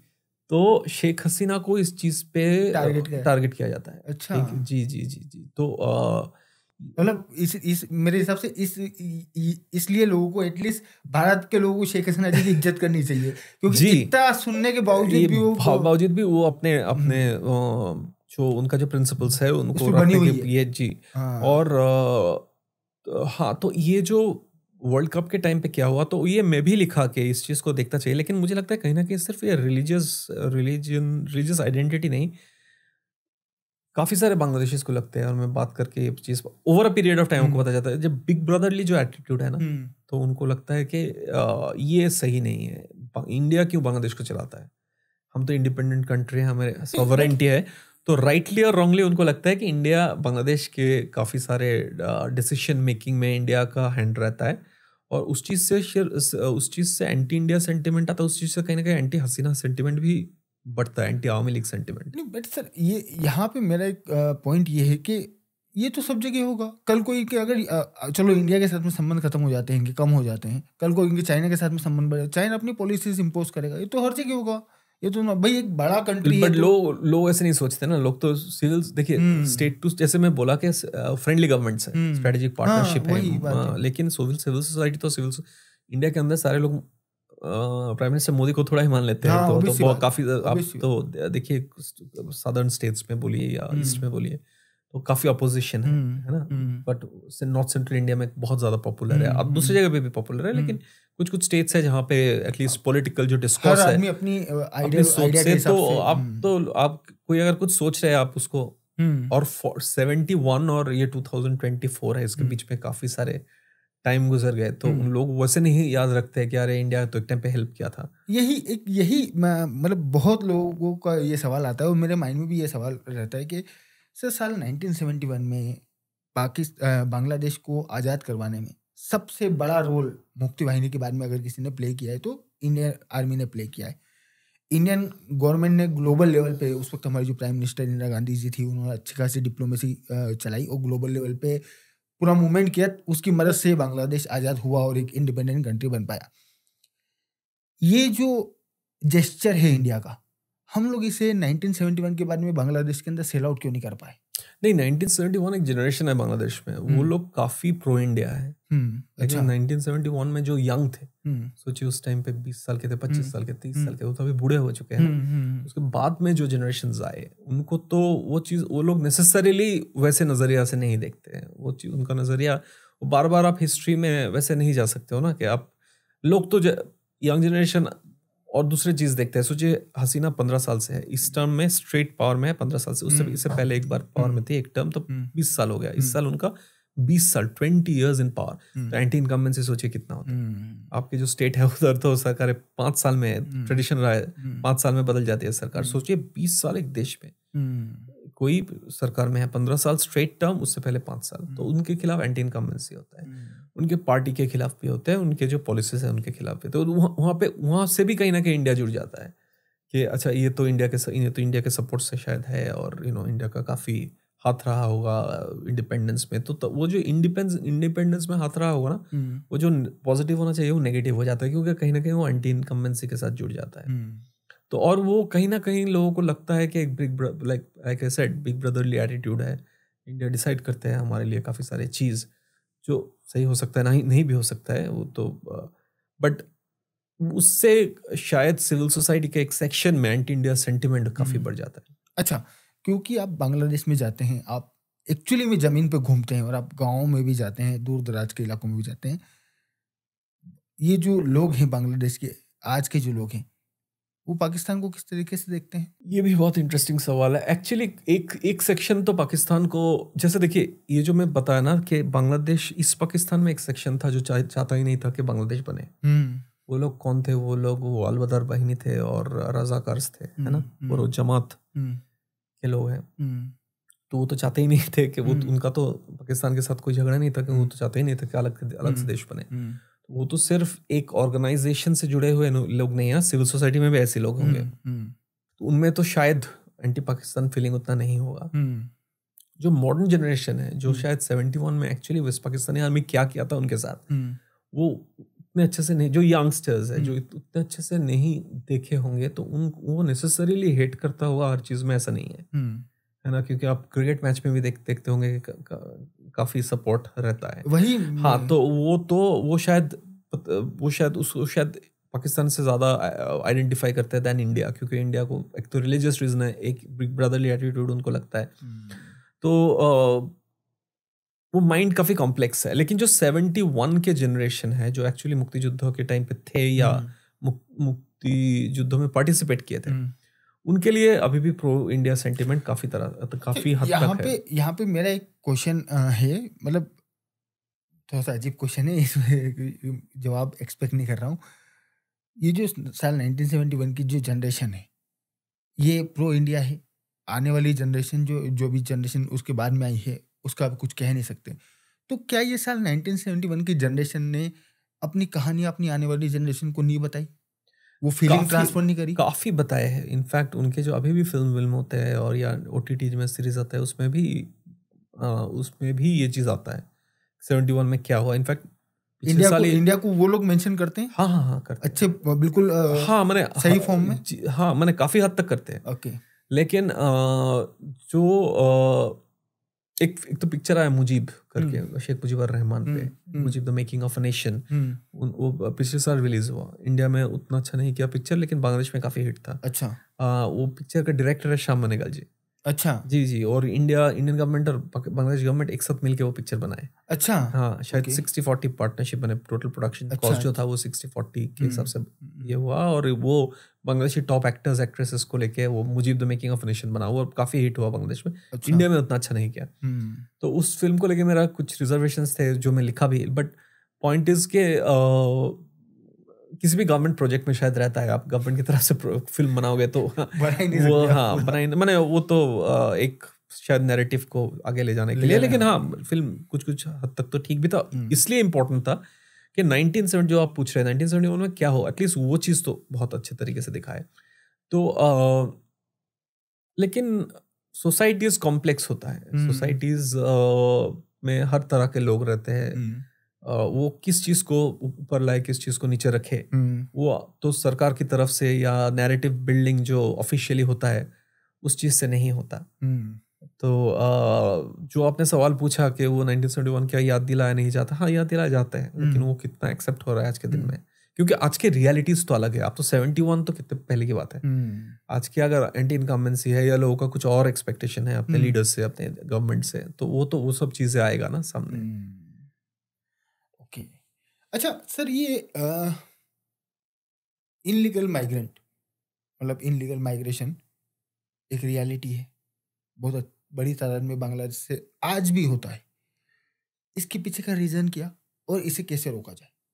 बांग्लादेश से आज जो इनलीगल माइग्रेशन भारत में हो रहा है। बहुत ही वास्ट एक्सपेंसिव टॉपिक है इसका इजी आंसर मुझे लगता है कि ये स्ट्रेटेजिक पार्टनरशिप में इसका इजी आंसर देता हूँ मैं। हाँ, मुझे हाँ. लगता है स्ट्रेटेजिक पार्टनरशिप जो इंडिया काफ़ी गवर्नमेंट टू गवर्नमेंट इंडिया और बांग्लादेश बांग्लादेश एक्चुअली गवर्नमेंट के लेवल पे ना is very friendly towards the Indian government so I think this is not something that the two home ministers Amit Shah ji और अस्ताद जुमान खान साहब हम्म। वो they cannot solve they want I think this is a this is this is a this this this is a country to country uh, thing that can be मैं मैं ये नहीं बोल रहा पूरा बंद हो जाएगा लेकिन काफ़ी हद तक ये आप कंट्रोल अच्छा, कर सकते हैं नहीं मैं मैं ये पूछना चाह रहा था एक तरह से कि जैसे बांग्लादेश के अंदर बहुत लोग बोलते हैं कि अगर हम बांग्लादेश में इकोनॉमिक सिचुएशन बढ़िया हो जाती है जो कि मेरे हिसाब से है। है और हो रही है शेख जी। जी के काम में राज्य में अगर कल को सिचुएशन और अच्छी होती चलती है तो फिर क्या ये माइग्रेशन कम हो, होते हुए हम लोगों को नज़र आएगा? इकोनॉमिक कंडीशन किसके लिए अच्छा हो रहा है ये भी तो एक इशू है। तो हम्म। पूरा पॉपुले आपका जीडीपी बढ़ रहा है मतलब आपका पूरा के पूरा पॉपुलेशन खुशहाली में है ऐसा नहीं है। अ, दोनों देश का पॉलिटिक्स है अपना अपना रीजनल पॉलिटिक्स भी है। हम्म। तो बट हाँ मैंने अगर इक्विटेबल ग्रोथ होगा तो शायद माइग्रेशन उस लेवल का थोड़ा सा कम हो सकता है। अगर जो फ्रूट्स ऑफ़ डेवलपमेंट है वो नीचे तक जाएगा जो गवर्नमेंट पॉलिसीज़ के थ्रू से तो शायद माइग्रेशन कम होने का चांस है। अच्छा सर अब बात करते हैं बांग्लादेशी हिंदूज के बारे में। जी। सबसे पहले मेरा सवाल उसके बाद में जनता ने भी बहुत सारे सवाल मुझे दिए हैं पूछने के लिए। आज से चार साल पहले मैं ऐसे रिसर्च कर रहा था एक वीडियो के लिए बांग्लादेश के ऊपर। तो मैंने गूगल में सर्च में डाला प्रोस्टिट्यूट्स इन बांग्लादेश. और जितने फ़ोटोज़ सर्च में आए जितनी इमेजेस उस सर्च में आई सबने लड़कियों ने सिंदूर लगा रखा है और माथे पे टिक्की लगा रखी है रेड कलर की साड़ी पहन रखी है। क्या यही काम चल रहा है वहाँ पे? हिंदू ये कंडीशन है हिंदुओं की नहीं नहीं उधर टॉप जो एक्ट्रेसेस है हम्म, ठीक है? इनफैक्ट मुझे पता नहीं है वो कन्वर्ट कर चुकी है कि नहीं बट क्योंकि उनका एक रिलेशनशिप था बांग्लादेश के बांग्लादेशी सुपरस्टार शाकिब खान। हम्म, जिसको बांग्लादेश का शाहरुख खान माना जाता है। हम्म, तो उनका जो उनका वाइफ हम्म, एक्स वाइफ अपू हम्म। विश्वास हम्म, जो किसी फ़िल्म में शायद शेख हसीना का रोल प्ले कर रही है। अच्छा। Is a Hindu okay. हाँ तो काफ़ी चंचल चौधरी टॉप बांग्लादेशी एक्टर हम्म, जो वेस्ट बंगाल में फ़िल्म में करते हैं। ठीक है। हम्म, और बहुत ही चर्चित और बहुत ही सॉर्ट ऑफ़ जिनको जिनके एक्टिंग prowess को लेके बहुत अच्छे अच्छे बातें बोला जाता है। Is a Hindu in fact Hindus are there in police force अच्छा। हाँ हाँ हाँ बट ढाका में भी दिखेगा आपको। Okay. और Hindus are there in the army Hindus are there in very good numbers in the civil service अच्छा बांग्लादेशी आर्मी में भी सर्व कर रहे हैं जी मेजर जनरल लेवल पे भी है। अच्छा? जी जी जी। ग्रेट और जो बिज़नेस कम्युनिटी है उनमें हिंदू है। जो न्यूज़पेपर एडिटर्स है उनमें हिंदू है। तो काफ़ी पावरफुल पोजीशंस में हिंदू है बांग्लादेश में। ओके सो किस कोई सर्च में आपको अगर प्रोस्टिट्यूट्स इन बांग्लादेश में अगर सिंदूर या सारी जो मार्कर्स ऑफ़ हम्म, हिंदुइज्म है वो दिखे वो वो pure- वो reality नहीं। वो रियल मैंने वो real- मैं मैं ये नहीं बोल रहा हूँ कि वो रियलिटी नहीं हो हो सकता है वो रियलिटी है लेकिन लेकिन वो एक ही चीज़ वो हाँ, रियलिटी नहीं तो- है क्योंकि total reality नहीं जी जी जी क्योंकि अगर उतना ही डिस्क्रिमिनेशन होता तो मेजर जनरल तो नहीं बनता हाँ हिंदू ऑब्वियसली या तो सोचिए पुलिस में बड़े ये तो एकदम ग्राउंड फोर्सेस है ना हम्म। तो उसमें अ, लेकिन डिस्क्रिमिनेशन क्या नहीं है? ऑफ़ कोर्स है डिस्क्रिमिनेशन मैं वही पूछने वाला था डिस्क्रिमिनेशन भी फेस करना डिस्क्रिमिनेशन ना कभी कभी सटल है कभी कभी नॉट सो सटल है हम्म, ठीक है? कभी कभी कभी कभी शायद कोई कोई फेस ना करे कोई कोई बहुत ज़्यादा करे। जैसे Okay. होता है सोसाइटी में। हम्म, सोचिए हमारे सोसाइटी में सोसाइटीज में काफ़ी बायसेस है। लेकिन सबका एक्सपीरियंस वो नहीं होता है। लेकिन आप अगर मैं अगेन बोल रहा हूँ संजीव सोनल जी ने जो बोला था क्योंकि वो बहुत मेरे लिए एक एक रूड रिमाइंडर था कि what is the larger picture तो लार्जर पिक्चर हमें बार बार बोलना पड़ेगा कि भाई पॉपुलेशन क्यों कम हो रहा है? हम्म, तो उस पर हमें वापस आना पड़ेगा।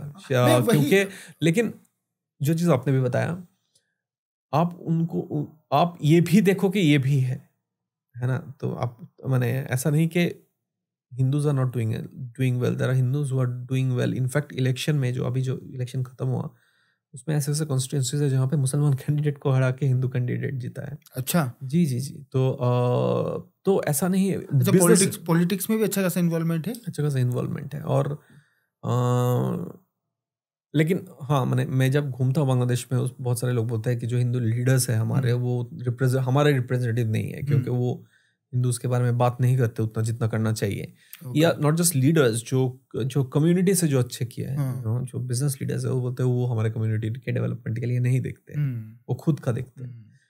तो वो भी है लेकिन आ, मतलब कि जो रियलिटी बहुत कॉम्प्लेक्स है एक्चुअली कॉम्प्लेक्स हाँ, है बट मुझे ऐसा लग रहा है कि जो लोअर क्लास तबका है हिंदू पॉपुलेशन का बांग्लादेश के अंदर वो इतना ज़्यादा खुश नहीं इकोनॉमिकली भी इतना अच्छा नहीं कर पा कर रहे हैं वो ऑब्वियसली बात जो एक एक जो जो इकोनॉमिकली जो हाँ आप अगर सोचे हिंदू है और इकोनॉमिकली भी आप बैकवर्ड है। हम्म, तो फिर तो आ, तो हाँ इकोनॉमिकली भी बैकवर्ड है और आप अगर ऐसे जगह पे जैसे मागुरा डिस्ट्रिक्ट के बारे में मैं बात बात को किया मागुरा बड़ा डिस्ट्रिक्ट है ठीक है हम्म। उस, उसके अंदर काफ़ी सारे गाँव हैं। मागुरा में मैं इस बार जाके सुना कि उसमें उसमें कोई दिक्कत नहीं आता उन लोगों को। लेकिन क्या मागुरा एक मॉडल डिस्ट्रिक्ट है जो सारे डिस्ट्रिक्ट जैसा है? नहीं है। है ना? ऐसे और भी डिस्ट्रिक्ट होंगे लेकिन और दूसरे भी तरह तरह के भी डिस्ट्रिक्ट होंगे जहाँ पे कहीं ना कहीं ओवर्ट या कोवर्ट थ्रेट्स मिलते होंगे यू नो एक सर्टन टाइप ऑफ़ ये एक मेरा क्वेश्चन यहाँ पे सर ये भी आया है कि जो बांग्लादेश के अंदर हिंदू पॉपुलेशन है वो एक ही इलाके में आ, नहीं नहीं, नहीं पूरा स्प्रेड आउट है? कहीं कहीं ज़्यादा है कहीं कहीं कम है स्प्रेड आउट है। तो फिर तो हर जगह अलग अलग एक्सपीरियंस होगा। अलग हाँ वही हाँ, मैं बोल रहा हूँ तो आप एक होमोजीनियस ऑलमोस्ट दो करोड़ हिंदू है बांग्लादेश हाँ, में। हम्म। आप जैसे मैं किताब लिखते हुए ना और लिखने के बाद मैंने मैं बहुत मुझे लगा कि मैं किन के बारे में बात किया। हम्म। मैं कोशिश किया कि घूम घूम के लिखूँ हर तरह का हिंदू से बात करूँ जो मैं किया भी। हम्म। लेकिन आ, मेरे मेरे जो को राइटर है डॉक्टर अभिषेक विश्वास उनका एक्सपीरियंस कुछ और था। मैं उनको इनकरेज किया कि मैं और तो अलग अलग ट्रेवल करेंगे है ना? हम्म। ताकि एक ही तरह का एक्सपीरियंस ना हो। हाँ। लेकिन दो करोड़ का एक्सपीरियंस तो एक जैसा नहीं हो सकता। जो मेजर जनरल है उस उनका एक्सपीरियंस और जो फार्मलैंड में हायर्ड हेल्प है हम्म, हम्म। उनका एक्सपीरियंस दोनों का रिलीजियस आइडेंटिटी सेम हो सकता है। उन दोनों दोनों का एक्सपीरियंस तो सेम नहीं होगा।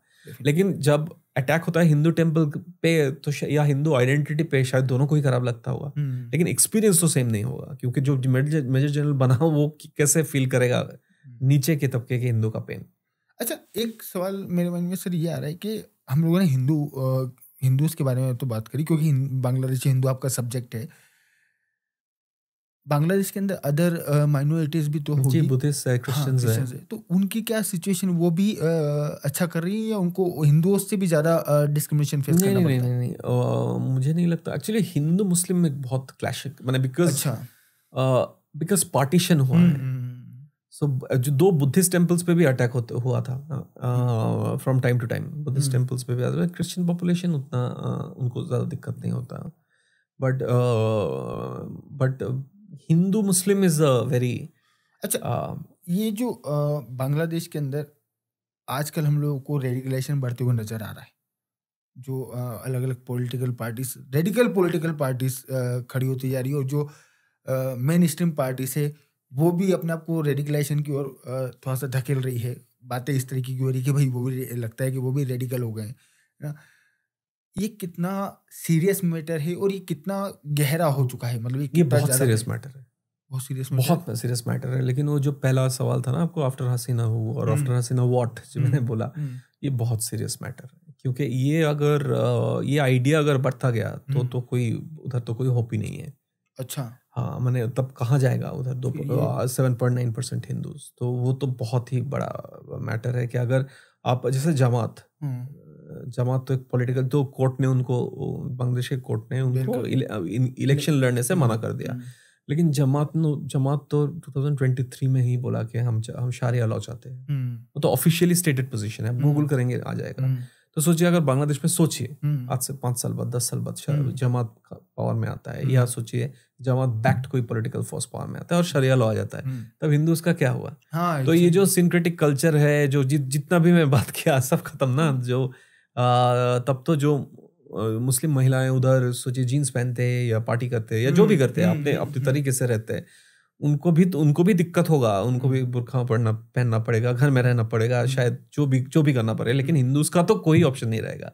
कन्वर्ट और कन्वर्ट और फ्ली और डाई मैंने ऐसे ऐसे या तो एकदम ही आप एक कोने में ढकेल दिया जाएगा एक कोने में। तो ये तो बहुत बड़ा तो जितना भी मैंने बोला पूरा थ्रू आउट द सेशन आपके तो अगर वो सोचिए वो रियलिटी होता है हम्म। जिसका चांस तो है। हम्म तो सबको इसी बात का हाँ। सबको इसी बात का डर है। तो सारे जो मैं चीज़ बोला ना वो एक तरफ़ हो जाएगा और ये रियलिटी एक तरफ़ हो जाएगा। अच्छा सर ये जो आपने मुझे बोला अभी बता रहे थे आप कि बांग्लादेश के अंदर फिर लड़कियाँ जींस नहीं पहन पाएगी तो मैं अभी जस्ट मैं वो यही पूछना चाह रहा था कि बांग्लादेश के अंदर आज जो बांग्लादेश के अंदर मुस्लिम महिलाएँ हैं ये स्पेशल महिला मुस्लिम महिला इसलिए पूछ रहा हूँ क्योंकि बुर्का- stereotype हाँ, बनता है। हाँ जी, जी, जी। तो वो आज किस तरीके से अ, हर तरीके से बुरखे में भी रहती हैं जी जी जी आ- आज़ादी का तो आज़ादी बहुत एक मतलब अगेन एक्सपेंसिव वर्ड है बट हाँ आपको आप डिपेंडिंग आप कहाँ जा रहे हो हाँ। आपको सिगरेट पीते हुए भी दिखेगा हाँ। और पार्टी करते हुए भी दिखेगा और जीन्स पहनते हुए भी दिखेगा बहुत ही फ्री थॉट के साथ भी दिखेगा और बुरखे में भी दिखेगा हाँ। तो बुरखा ऑब्वियसली बुरखा बुरखा क्योंकि उनका ट्रेडिशन है हाँ बुरखा ये चीज़ लेकिन एक्चुअली मैंने लिखा था एक आर्टिकल में और हम्म। उसको उसके लिए मुझे काफ़ी गाली पड़ा हम्म, उधर से मेरे जो दोस्त थे वो भी बोले कि आपको वही दिखा हम्म, लेकिन अ, मेरे मेरे फादर जो प्रोफेसर थे ना जादवपुर यूनिवर्सिटी में इधर आने के बाद वो वो उनके साथ में कभी कभी ढाका जाता था एज अ चाइल्ड क्योंकि ढाका हम्म। यूनिवर्सिटी में वो विजिटिंग लेक्चरर की हम्म। तरह जाते थे। हम्म, तो उस टाइम पे मेरा जो मेमोरी है मैं ढाका में उतना ज़्यादा बुरखा नहीं देखा जो हम्म। इस इस बार मुझे दिखा। मैंने इक्कीस के बाद जब मैं गया था हाँ। मुझे दिखा। तो उस हिसाब से मैं लिखा था कि शायद ज़्यादा महिलाएँ अब बुरखा पहन रही है पहले शायद बीस साल पहले इतना नहीं पहनते थे। हम्म, वो सच है। लेकिन अ, उनके साथ साथ ये भी सच है कि एक परसेंटेज अपने मर्ज़ी से जीते हैं और काफ़ी हद तक वो मतलब अच्छी खासी जी जी जी जी। फ्रीडम एक तरह से तरह से है। है वहाँ पे।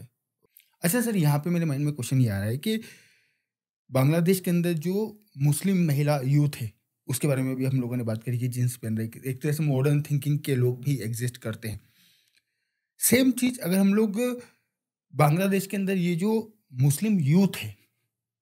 उसके बारे में अगर मैं आपसे पूछूँ कि उसकी कैसी सोच है क्या वो सेकुलर थिंकिंग को लेके आगे बढ़ता है उस तरीके के लोग आज एग्जिस्ट करते हैं बांग्लादेश के अंदर? सारे लोग तो सेकुलर नहीं है यहाँ पे भी नहीं है उधर भी नहीं है। हम्म, लेकिन एक मेरे दोस्त के बारे में मैं आपको बता सकता हूँ उसका नाम है सलाउद्दीन सुमन।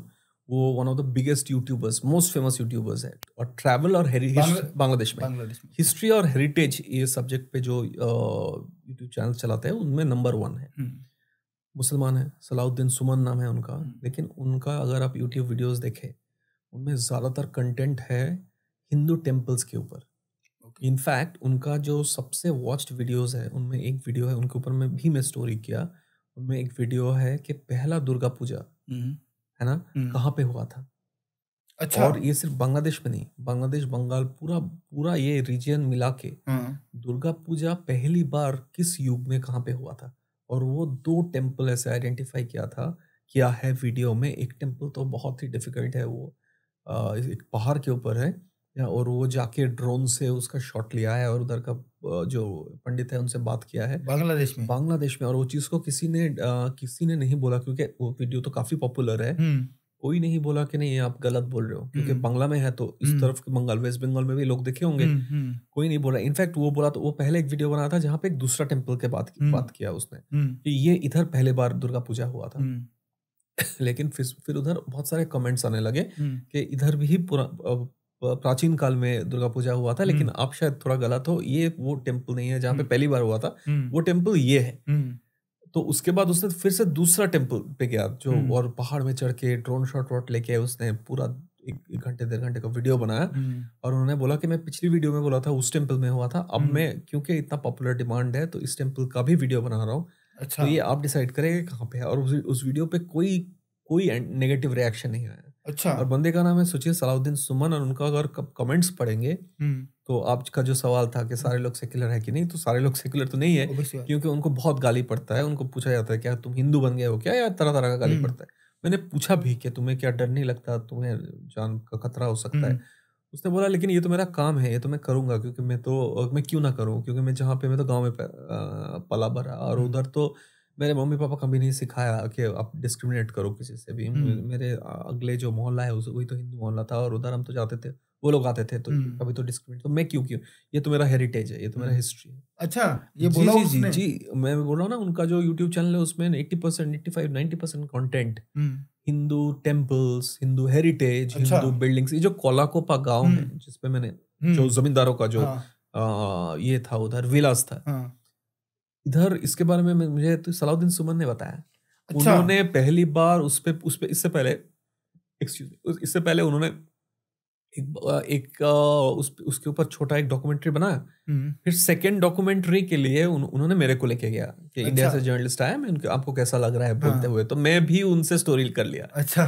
तो इस, इस कोलाकोपा गाँव के बारे में सुमन ने ये गाँव सुमन ढूंढ के निकाला ओके और सोचिए आज का बांग्लादेशी लड़का जो थर्टीज हाँ। में अर्ली थर्टीज में होगा वो एक ऐसा गाँव ढूंढ के निकाला है जहाँ पे हिंदू हवेलीज है और हम्म। उसका हिस्ट्री ये बोल रहा है हम्म। और इनसे इनको देख के मेरे को मेरे को स्टोरी आइडिया है और फिर मैं वो स्टोरी किया हम्म। तो ऐसे लोग भी हैं one of the top most most famous YouTubers Bangladesh का वो हिंदू हेरिटेज हिस्ट्री को लेकर इतना इंटरेस्टेड है अगर मैं आ, सार कहूँ पूरी बात का तो सार यही है कि लेकिन जैसे मैं कहा उसके नीचे का अगर कमेंट्स हाँ, देखे उसमें गाली गलौज डेथ थ्रेट सब कुछ है। दोनों तरीके के लोग दोनों तरीके के लोग हैं। एक अच्छे लोग भी है अच्छे लोग इन सेंस कि जो टॉलरेंट हैं कि जो जो दूसरा दूस, जो एक इंक्लूसिव इंक्लूसिव बांग्लादेश हाँ, की बांग्लादेश हाँ, के लिए बांग्लादेश का सपना आज भी देखते हैं। हाँ, और दूसरी तरफ़ जो सिर्फ़ रिलीजियन के बेसिस पे है बट प्रॉब्लम हमारे साथ में आज मतलब प्रॉब्लम तो नहीं कहूँगा डर की बात यह है कि ये जो इंटॉलरेंस है जो रेडिकल वाला तबका है वो ज़्यादा हाँ, उसका नंबर बढ़ रहा है और बढ़ता जा रहा है बढ़ता जा रहा है और उस चीज़ को बांग्लादेश को देखना चाहिए। सिर्फ़ इंडिया का हिंदुज का प्रॉब्लम नहीं है। हम्म। बांग्लादेशी सोसाइटी के लिए बांग्लादेश के आइडिया के लिए हम्म। बंगबंधु का जो आइडिया था 1971 का जो आइडिया था जो 24 में आके भी शेख हसीना का आइडिया है वो आइडिया के लिए बहुत खतरनाक है। और मुझे लगता है कि इसमें सिर्फ़ गवर्नमेंट बांग्लादेश की गवर्नमेंट कुछ नहीं कर सकती। मतलब वो तो करेगी करेगी लेकिन जो सिविल सोसाइटी है उसका रोल मेरे हिसाब से बहुत ज़्यादा बड़ा बनता है। बहुत ज़्यादा बड़ा बनता है कि आप खुद कैसे समाज चाहते हो। हाँ एग्जैक्टली exactly. तो आप खुद कैसे समाज चाहते हो आप आपके आपके अंदर दोनों चीज़ है। तो आप क्या हम्म। चाहते हो क्या आ गया है क्या आ गया है और क्योंकि काफ़ी आ, काफ़ी बुरा वक्त से तो बांग्लादेश गुजारा गुजरा है वही। गुजरा है और हिंदू मुसलमान दोनों को ही नुकसान हुआ है हम्म, बांग्लादेश में। हम्म। तो आप क्या चाहते हो कौन सा आइडिया रहे? अच्छा सर एक क्वेश्चन मतलब व्यूअर्स में से बहुत लोगों ने ये सवाल पूछा था। कि बांग्लादेश के अंदर जब ये हिंदू टेंपल के ऊपर हमले होते हैं, अभी हम लोगों को बहुत सारी मतलब समय समय पर तस्वीरें आती रहती है, मूर्ति तोड़ दी लोगों को मारा, इस तरीके की हरकत होती होती रहती है। तो हमारी ये जो भारत सरकार है, भाई, आज की तारीख में भी मोदी जी के शेख हसीना जी के साथ में संबंध बहुत अच्छे हैं। प्रीवियस गवर्नमेंट जो थी, मनमोहन सिंह जी की, उस वक्त भी शेख हसीना जी के साथ में भारत सरकार के संबंध बहुत अच्छे थे। कॉन्स्टेंटली हम लोगों के अच्छे संबंध मेंटेन रहे तो क्या भारत सरकार दबाव डालती है शेख हसीना जी के ऊपर देखिए ये तो मुझे भारत सरकार के उस लेवल पे एक्सेस नहीं है लेकिन मैं ये चीज़ ज़रूर बता सकता हूँ कि मैं असद जुमान खान जो बांग्लादेश का होम मिनिस्टर है हम्म। इस इस इस बार जो हसीना इलेक्शन जीत के आई है इस बार भी होम मिनिस्टर असद जुमान खान ही है अच्छा। बहुत सारे इंपॉर्टेंट पोर्टफोलियोज दूसरे लोगों को दिया गया लेकिन होम मिनिस्ट्री असद जुमान खान को ही दिया गया हम्म। दिया गया है तो उनको मैं पहली बार मिला दिल्ली में ओके okay. जब एक होम मिनिस्टर लेवल टॉक हुआ था बॉर्डर सिक्योरिटी को लेके और वो अमित शाह जी से मिलने आए थे okay. उसी रात को मैं हताज होटल में जहाँ पे और रुके थे hmm. उनके डेलीगेशन से संपर्क करके मैं उनको दस मिनट के लिए मिला था तो मैंने उधर पूछा था उनको क्योंकि उससे पहले खबर आ चुका था कि 2022 की बात कर रहा हूँ मैं 2021 हम्म। में जो टेंपल अटैक्स हुआ था hmm. उसके उसके ज़िक्र अमित शाह जी ने किया उनसे. तो मैंने पूछा उनका जवाब उन्होंने दिया नहीं लेकिन मुझे लगा उनके बॉडी लैंग्वेज से कि अमित शाह जी ने ज़रूर अमित शाह जी ने ज़िक्र ज़रूर ज़िक्र किया होगा क्योंकि उन्होंने मुझे थोड़ा घुमा के जवाब दिया कि अगर वो ये बोलते हैं तो हम भी कुछ कुछ बोल सकते हैं। लेकिन मुझे लगा कि ये ये चीज़ डिस्कस हुआ होगा। तो आ, लेकिन मैं जब बाद में उस दिन तो कम समय के लिए मिला बाद में he was gracious enough to invite me to his home जब मैं हम्म। उनके घर में जाके उनसे उनका इंटरव्यू किया तो मैं उनको पूछा कि ये हम्म। क्यों होता है? तो हम्म। उन्होंने बोला उन्होंने एक टर्म यूज़ किया। उन्होंने बोला इस्लामिक टेरर को हम रोक लेंगे रोक लेंगे। तो उनका नाम है असदत जुमान खान। हम्म। वो अगर खुद बोल रहे हैं कि इस्लामिक टेरर को हम रोक लेंगे और हम पूरा फाइट करेंगे मतलब कहीं ना कहीं एक होप तो है कि वो कोशिश रियलाइजेशन है उनको। क्योंकि वो ये टर्म ना भी यूज़ कर सकते हाँ, है ना? एक इंडियन मतलब जर्नलिस्ट को वो बोल रहे हैं जो इंडिया से गया है कि इस्लामिक टेरर रेडिकल टेरर को हम रोक लेंगे। उन्होंने टेरर बोल सकते हैं उसने बोला इस्लामिक टेरर को हम रोक लेंगे। तो ये तो कहीं ना कहीं होप भी हो गया एक हाँ एक तो मुझे बहुत वेयर लगा था क्योंकि ये ये चीज़ वो दूसरी तरीके से बोल सकते थे। लेकिन उन्होंने यूज़ किया टर्म कि इस्लामिक टेरर को हम रोक लेंगे। तो मुझे उसमें होप दिखा के एग्जैक्टली हम्म। ये तो वाकई में जी। बहुत अच्छी और ये चीज़ मैंने लिखा भी किताब में कि हम्म। लेकिन लाइक आई सेड ये सिर्फ़ गवर्नमेंट गवर्नमेंट की बात नहीं है ये सिर्फ़ बांग्लादेश गवर्नमेंट की बात नहीं है सिविल सोसाइटी को ये सवाल अपने आप से पूछना पड़ेगा कि कैसा बांग्लादेश वो चाहते हैं। पारिवारिक लेवल पे स्कूल के लेवल पे उन लोगों को जो ये पाकिस्तान बनने की ओर जा रहे हैं सो एज ए सोसाइटी उससे मैं मैं आपको बताऊँ मेरा ये आपको podcast sure I am sure Bangladesh के लोग भी देखेंगे और उधर मेरे काफ़ी सारे दोस्त भी है। हाँ, तो उनमें से आ, कुछ कुछ बांग्लादेशी मुझे बोलते हैं जो बहुत एलिट है। आ, फ़िल्म स्टार्स है या आर्टिस्ट है वो बोलते हैं कि तुम इंडिया में जाके ऐसे किताब लिखते हो या बांग्लादेश को बांग्लादेश के बारे में ऐसे बुरी बुरी बातें बोलते हो। हम्म, मेरा ये उद्देश्य नहीं है। कभी हम्म। कभी क्या होता है हम ना हम जो जो हमारा बबल है वो इंडिया में भी है। हम्म, जो हमारा बबल है हमें लगता है पूरा देश वैसा है। ऐसा हम्म। नहीं है है ना? जो दिल्ली में लटियंस सर्कल जो बोला जाता है वो पूरे देश वो हाँ वो शायद पूरा देश को नहीं जानते हैं वैसे। उनका जो रियलिटी है सोशल रियलिटी है वो शायद पूरा देश का वो दिल्ली का ही पूरा दिल्ली का ही रियलिटी नहीं है है ना? तो वैसे ये प्रॉब्लम शायद बांग्लादेश में ढाका का जो वो zero point two percent zero point three percent जो हम्म। छोटा सा बबल है हम्म, उनमें से शायद उन लोगों को कभी कभी नहीं वो पढ़ते ज़रूर है जब हम्म। अटैक होता है बट हम्म। उनको लगता है ये इतना बड़ा प्रॉब्लम नहीं है हम्म, शायद वो अगर अपने बबल से बाहर आके देश को देखे हम्म, है ना? तो उनको शायद लगे एग्जैक्टली exactly. शायद लगे कि ये बहुत बड़ी बहुत बड़ी चिंता की बात और ये आज चिंता की बात नहीं है प्रॉब्लम ये है कि ये कल खराब करेगा। कल खराब करेगा जी। आज भले आप कोई इतना बड़ा इशू नहीं लग रहा हो लेकिन ये रेडिकलाइजेशन को बढ़ावा दे रहा है और वो भी कल खराब करेगा। आपका अच्छा सर कल की बात यहाँ पे आई है तो भारत और बांग्लादेश का जो कल है रिश्तों का वो आपको कैसे नज़र आ रहा है? क्योंकि बांग्लादेश के अंदर अमेरिका के इंटरेस्ट भी हैं चाइना के इंटरेस्ट भी हैं और चाइना के साथ में थोड़े से क्लोज रिलेशन भी इन लोगों के डेवलप हुए शेख हसीना जी ने अच्छे रिलेशन डेवलप किए हैं चाइना के साथ में। तो ये तीनों ही जो ढाका इतना कॉम्प्लेक्स है ना हम्म, क्योंकि पाकिस्तान आईएसआई भी है हम्म, रॉ भी है हम्म। अमेरिकन इंटरेस्ट भी है चाइना भी है हम्म, बहुत सारे मतलब एक पिक्चर आया था अभी ओटीटी में खुफिया देखा आपने? तो उधर बहुत सारे इंटरेस्ट मिल जाते हैं। हम्म, ठीक है कौन किसके लिए बैट कर रहा है आपको पता नहीं चलता।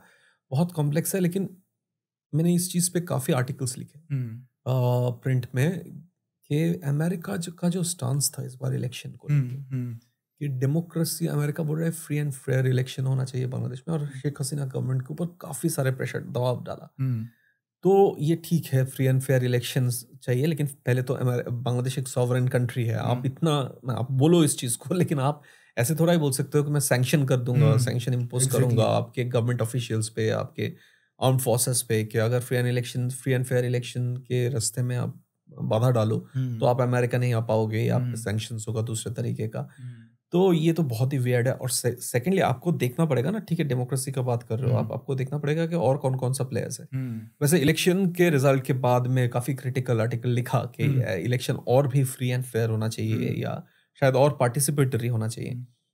लेकिन ये भी सच है कि आपके पास ऑप्शंस क्या है। आप डेमोक्रेसी को लाने के लिए आप क्या कंप्लीटली अनडेमोक्रेटिक फोर्सेस को या रेडिकल फोर्सेस को सामने लाओगे? तो ये ये सवाल तो अमेरिका को अपने आप और मेरे से हिसाब पूछना से चाहिए। मेरे हिसाब से ये क्वेश्चन मतलब ये चीज़ तो भाई इजिप्ट हमारे सामने एग्जांपल है। डेमोक्रेटिक डेमोक्रेटिक करते करते क्या बोलते मुस्लिम ब्रदरहुड वाले पावर में आ गए। जी। तो ये तो ये ये मेरा मेरा जो आर्टिकल था उसका हेडलाइन भी ये था कि अरब स्प्रिंग चाह रहे हो क्या बांग्लादेश में? एग्जैक्टली तो ये तो आप क्या डेमोक्रेसी के नाम पे जमात को ले आओगे? तो ये बहुत ही खतरनाक एक वेस्टर्न इन्फ्लुएंस है। बाकी हम्म। जो पावर्स एट प्ले है वो तो है ही। लेकिन अमेरिका का इस इलेक्शन में स्पेशली जनवरी में इलेक्शन हुआ बहुत ही ज़्यादा वियर्ड एक तरीके का इंटरफेरेंस रहा। और पीटर डी हास जो अमेरिका का एम्बेसडर है बांग्लादेश में उनका और opposition part opposition party leaders को मिलना सही है लेकिन आप आप देखो तो एक बार एक और- एक एक बार देखो तो कि हम्म, कौन क्या तो- चाह रहा है। जमात जहाँ पे ओपनली बोल रहा है कि वो शरिया चाहते हैं तो क्या आप बोलोगे कि जमात का इंक्लूशन इलेक्शन में सही है? तो वो क्या आके शरिया लॉ लाना क्या डेमोक्रेसी है? वो आखिरी दिन होगा डेमोक्रेसी का। जी जी। तो ये तो ये बहुत इसलिए Bangladesh is is a is a country we should keep watching एक तो it is our it is now our only friendly neighbour in a sense hmm, but जो इम्पोर्टेंट नेबर्स है उसमें बांग्लादेश के साथ हमारा स्ट्रेटेजिक रिलेशनशिप बहुत अच्छा है। हम्म, लेकिन it is also very complex country छोटा देश है लेकिन बहुत कॉम्प्लेक्स देश है है ना? बहुत सारे अल- मैं बोला आपको 1947 1971 दो तो क्लियर आइडियाज़ ऑफ़ बांग्लादेश है कि आप पाकिस्तान हो या आप बांग्लादेश एक सेक्युलर मॉडर्न डेमोक्रेसी हो। तो अ, इंडिया नज़र हटा नहीं सकता। कॉन्स्टेंटली आपको देखना पड़ेगा क्या हो रहा है। आपके सिर्फ़ गवर्नमेंट टू गवर्नमेंट जो बात हो रहा है वो नहीं सिविल सोसाइटी पे आपको ध्यान रखना पड़ेगा कि उधर क्या हो रहा है। अच्छा ये जो चाइना एंट्री मार रहा है इसका क्या? चाइना के क्या इंटरेस्ट नज़र आ रहे हैं बांग्लादेश के चाइना इतना इतना स्ट्रेटेजिक स्ट्रेटेजिक इम्पोर्टेंस बांग्लादेश में है। यहाँ पे इंडिया का इतना इतना इन्फ्लुएंस है। उधर चाइना का इंटरेस्ट कैसे नहीं होगा? तो ये भी शेख हसीना के जो अभी का जो टर्म है उसमें आई थिंक इंडिया को भी वॉच करना चाहिए कि क्या प्ले है चाइना के साथ।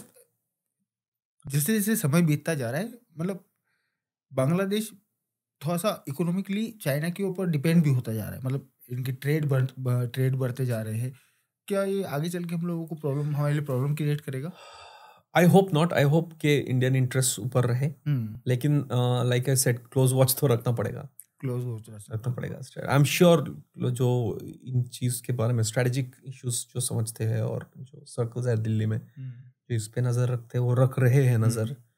और बट हाँ strategically it is it is something to watch out for अच्छा लास्ट में एक मतलब सबसे महत्वपूर्ण सवाल यही कि आपकी जो बुक है बीइंग हिंदू इन बांग्लादेश तो ये जो है बीइंग हिंदू इन बांग्लादेश अगर इस लाइन को हम लोग देखें तो हिंदुओं का बांग्लादेश के अंदर आपको क्या फ्यूचर नज़र आ रहा है? कॉन्ट्रोवर्शियल चीज़ बताऊँगा। बांग्लादेश में एक प्रोफेसर है ढाका यूनिवर्सिटी का प्रोफेसर बरकत। हम्म। उन्होंने एक आर्टिकल लिखा जो हम्म। मैं कोट किया। वो बाद में क्या हुआ? वो मैंने कुछ जगह पे कोट हुआ मेरे किताब के बारे में। तो लोगों को लगा बांग्लादेश में भी लगा उनके हाई कमीशन में भी लगा इंडिया में भी लगा कि मैं ये चीज़ बोल रहा हूँ। वो ढाका यूनिवर्सिटी का प्रोफेसर नहीं बताया। Okay. उन्होंने बोला अगर ऐसा चलता रहे जो वैसे वो बीएनपी के टाइम पे जो अपोजिशन पार्टी है बीएनपी और जो जमात के साथ पावर में आए थे आ, उनके टाइम पे शायद लिखा गया था ये तो उन्होंने बताया था कि ऐसे ही अगर चलता रहे तो तीस साल में उधर कोई हिंदू नहीं बचेगा बांग्लादेश में। अच्छा। जी जी जी। और असेसमेंट है। ये उनका असेसमेंट था कि अगर इसी तरह चलता रहा हाँ। देश तो तीस साल में आ, हिंदू नहीं बचेगा। लेकिन आ, मैं क्या बोलूँ इस चीज़ में? मेरे किताब के लॉन्च पे जो पहली पहली बार जब किताब अनवेल हुआ और जब लॉन्च हुआ तो शेखर गुप्ता जी थे जो प्रिंट हम्म। के फाउंडर एडिटर है हम्म। और संजीव सान्याल जी थे। मैं दोनों से ये सवाल पूछा था। दोनों का अलग अलग ये था मत मत था और शेखर जी ने बताया था कि नहीं ऐसे ये बहुत ही ग्लूम एंड डूम वाला एक प्रडिक्शन है कि तीस साल में नहीं बचे। तीस साल में कोई हिंदू नहीं बचेगा। संजीव जी का मानना यह था कि आप अगर हार्ड डेटा देखो कैसे कम होते जा रहा है ना? ड्रास्टिकली नीचे जा रहा है। तो उसमें कैसे आप होप देखते हो? इसमें मैं क्या बोलूँ but one can only hope जो मैं दो आइडिया ऑफ़ बांग्लादेश बताया फोर्टी सेवन और सेवेंटी वन इसमें सेवेंटी वन प्रिवेल करे और मतलब आपका एक पर्सनल ओपिनियन हम्म। मुझे आप दीजिएगा थोड़ा सा शायद कभी कंट्रोवर्शियल हो जाए तो मत बताइएगा। आप जब बांग्लादेश के अंदर ज़मीन पे जाते हैं आपको क्या वहाँ पे हिंदुओं के लिए डर नज़र आता है? मैंने मुसलमानों में उनके लिए डर या हिंदू कम्युनिटी के अंदर कम्युनिटी के हाँ, अंदर डर नज़र आता है। डर नज़र आता है। डर मैं झूठ नहीं बोलूँगा ऐसा नहीं कि डर नज़र नहीं आता। डर अगर ना भी हो एक कंसर्न तो नज़र आता है। हम्म। है ना? हम्म। जो इनफैक्ट जो और ये अक्रॉस द बांग्लादेश नज़र आता है? अक्रॉस बांग्लादेश ना भी आए तो बहुत सारे लोगों में नज़र आता है कि फ्यूचर क्या है। फ्यूचर क्या है? क्योंकि रेडिकलाइजेशन बढ़ रहा है तो फ्यूचर क्या है? और यही सेंटेंस बार बार कि after Hasina who after Hasina what सब कुछ मेरे को जहाँ तक लग रहा है कि हसीना हसीना जी के ऊपर डिपेंड करता है। हसीना जी के जाने के बाद में जा हसीना जी के बाद जाने के बाद में क्या है? उनका सक्सेसर कौन है? और हाँ। उनके बाद बांग्लादेश का पॉलिटिक्स पॉलिटिक्स किस दिशा में जाएगा? ये तो बहुत ही चिंता एक तरह से हम लोग कह सकते हैं कि एक डैम बना हुआ है। पीछे रेडिकल फोर्सेस खड़ी हुई है और हसीना जी वो गेट है। गेट है। उन्होंने ही रोक रखा है आज की तारीख में और आगे बांग्लादेशी हिंदू है। जी। अगर वो गेट हटा तो सिर्फ़ बांग्लादेशी हिंदू तो है ही बांग्लादेश का जो सेक्युलर फैब्रिक है जो इनफैक्ट बांग्लादेशी मुस्लिम जो जो एक अलग बांग्लादेश का सपना अभी भी देखते हैं उनके लिए भी हाँ, जी जी जी जी। उनके लिए भी मेरा एक जर्नलिस्ट दोस्त है शाहिदुल हसन कोकन हम्म। उनको मैं कभी काफ़ी कोट करता हूँ अपने आर्टिकल में उन्होंने मेरे को एक चीज़ बताया था कि आप हिंदूज के बात करते हैं अगर जमात पावर में आ गया तो मेरे जैसे मुसलमान का कोई जगह नहीं होगा इस देश में हम्म। तो ये तो बहुत ही तब तो वो जो शायद प्रोफेसर बरकत वाला जो जो एकेडमिक पेपर था जिसमें ये हम्म। चीज़ बोला गया कि तीस साल बाद कोई हिंदू नहीं बचेगा बांग्लादेश में। तीस साल चालीस साल या तो या उससे भी पहले शायद वो सच हो जाए। प्रॉब्लमेटिक बात भी है प्रॉब्लमेटिक बात ही है लेकिन ये इस सच्चाई से देखिए मैं किताब क्यों लिखा? मैं किताब सिर्फ़ सिंक्रेटिक कल्चर और सब कुछ सही है दुर्गा पूजा में मुस्लिम भी आके बैठते हैं इसलिए तो नहीं लिखा। मैं तो इसलिए भी लिखा इसलिए भी लिखा वो चीज़ भी है इसलिए भी लिखा के डर है। डर अगर ना होता तो सिर्फ़ सिंक्रेटिक कल्चर के को दिखाने के लिए तो किताब नहीं लिखा। और मैं नोआखाली मेरा जो पहला चैप्टर था नोआखाली 1946 जहाँ पे मेरा को ऑथर अभिषेक विश्वास के फैमिली उस टाइम पे उधर थे, उनके ग्रैंड मदर उधर थे, और वो पढ़िएगा आप, वो बहुत ही दर्दनाक एक इंसिडेंट था, उनके जो, वो लोग बच्चियों को मारने की बात हुआ था, क्योंकि अगर बच्चियों को चीख से राइटर्स को पता चल जाएगा कि इस स्कूल के अंदर हिंदू छुपे हैं, वो लोग आके फिर रेप करते और मारते, वैसे सिचुएशन हो गया था कि एक बच्ची थी, वो रो रही थी और तो बाकी सारे जो छुपे हुए थे, वो बच्ची के पिता को बोला, आप इनको गला दबा के इनको मार दीजिए, क्योंकि इनके इनके मुँह पे हाथ रखने से नहीं हो रहा है, हाथ हटा हटा के चिल्ला रहा है, और इसका चीख सुन के बाहर से लोग राइट, राइटर आ जाएगा, और हम सबको मार देगा तो आप मार दीजिए इनको। तो वो 1946 और ये टू वन, जहाँ पे वही नोआखाली में दो लोगों का हत्या हुआ एंटी हिंदू राइट्स जो जिसके बारे में बताया मैं फेक न्यूज़ से।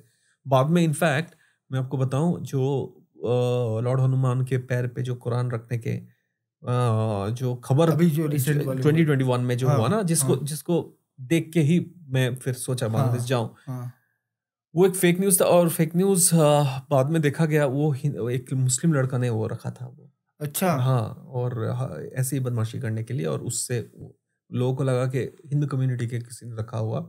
मुसलमानों को अपमान करने के लिए। अच्छा। और बाद में देखा गया वो अरेस्ट तो भी हुआ न्यूज़ की वजह से इतने बड़े इतने बड़ा तो ऑब्वियसली सब कुछ तो ठीक नहीं है, हम्म, है बस वो एक चिंगारी का इंतज़ार होता है। चिंगारी मतलब का इंतज़ार होता है तो जो आप बोले वो सही बात है डैम है। हम्म। मैं क्योंकि मैं चाहता हूँ कि मैं सेंटिमेंटली जुड़ा हुआ हूँ उस हम्म। जगह के साथ। मेरा परिवार उधर से आता है।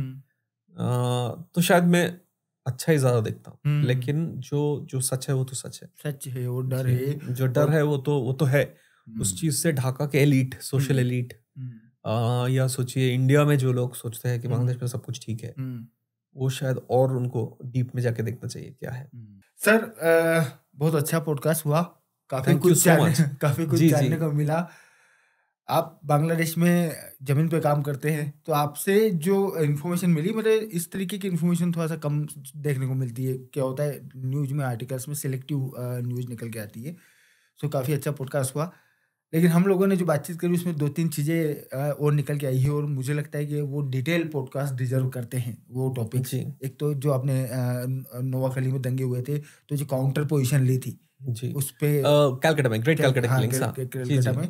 और एक अभी आपने जो नोआखली की बात बोली है जी। बच्ची 1946 हाँ, में गच्ची के गला दबाने वाली। मुझे लगता है ये इवेंट भी एक पूरा पूरा पॉडकास्ट डिजर्व करता है। जी। उसमें मेरा जो को ऑथर है अभिषेक हम्म। ये उनका स्टोरी है। उनका ग्रैंड मदर का स्टोरी है। अच्छा। जी उनकी मैं ये किताब हम दोनों ने उनको डेडिकेट किया। मेरा मेरा ये इच्छा था कि उनको पहला कॉपी दूँगा। हम्म। लेकिन आ, किताब के लॉन्च होने से एक महीने पहले उनका देहांत हो गया। तो बदकिस्मती है मेरा लेकिन आ, हाँ उनसे कहानी शुरू हुआ था। तो सर ये दो पॉडकास्ट हमारे पेंडिंग है। मैं डेफिनेटली आपको बहुत जल्द बुलाऊँगा और हम लोग एक बार बैठ के यहाँ पे अच्छे से डिटेल में इन इवेंट्स को बिना इधर उधर जाए डिटेल में डिस्कस करेंगे। सर, आप जयपुर आए, उसके लिए बहुत बहुत थैंक यू आपको अपना टाइम दिया। थैंक यू नमस्कार।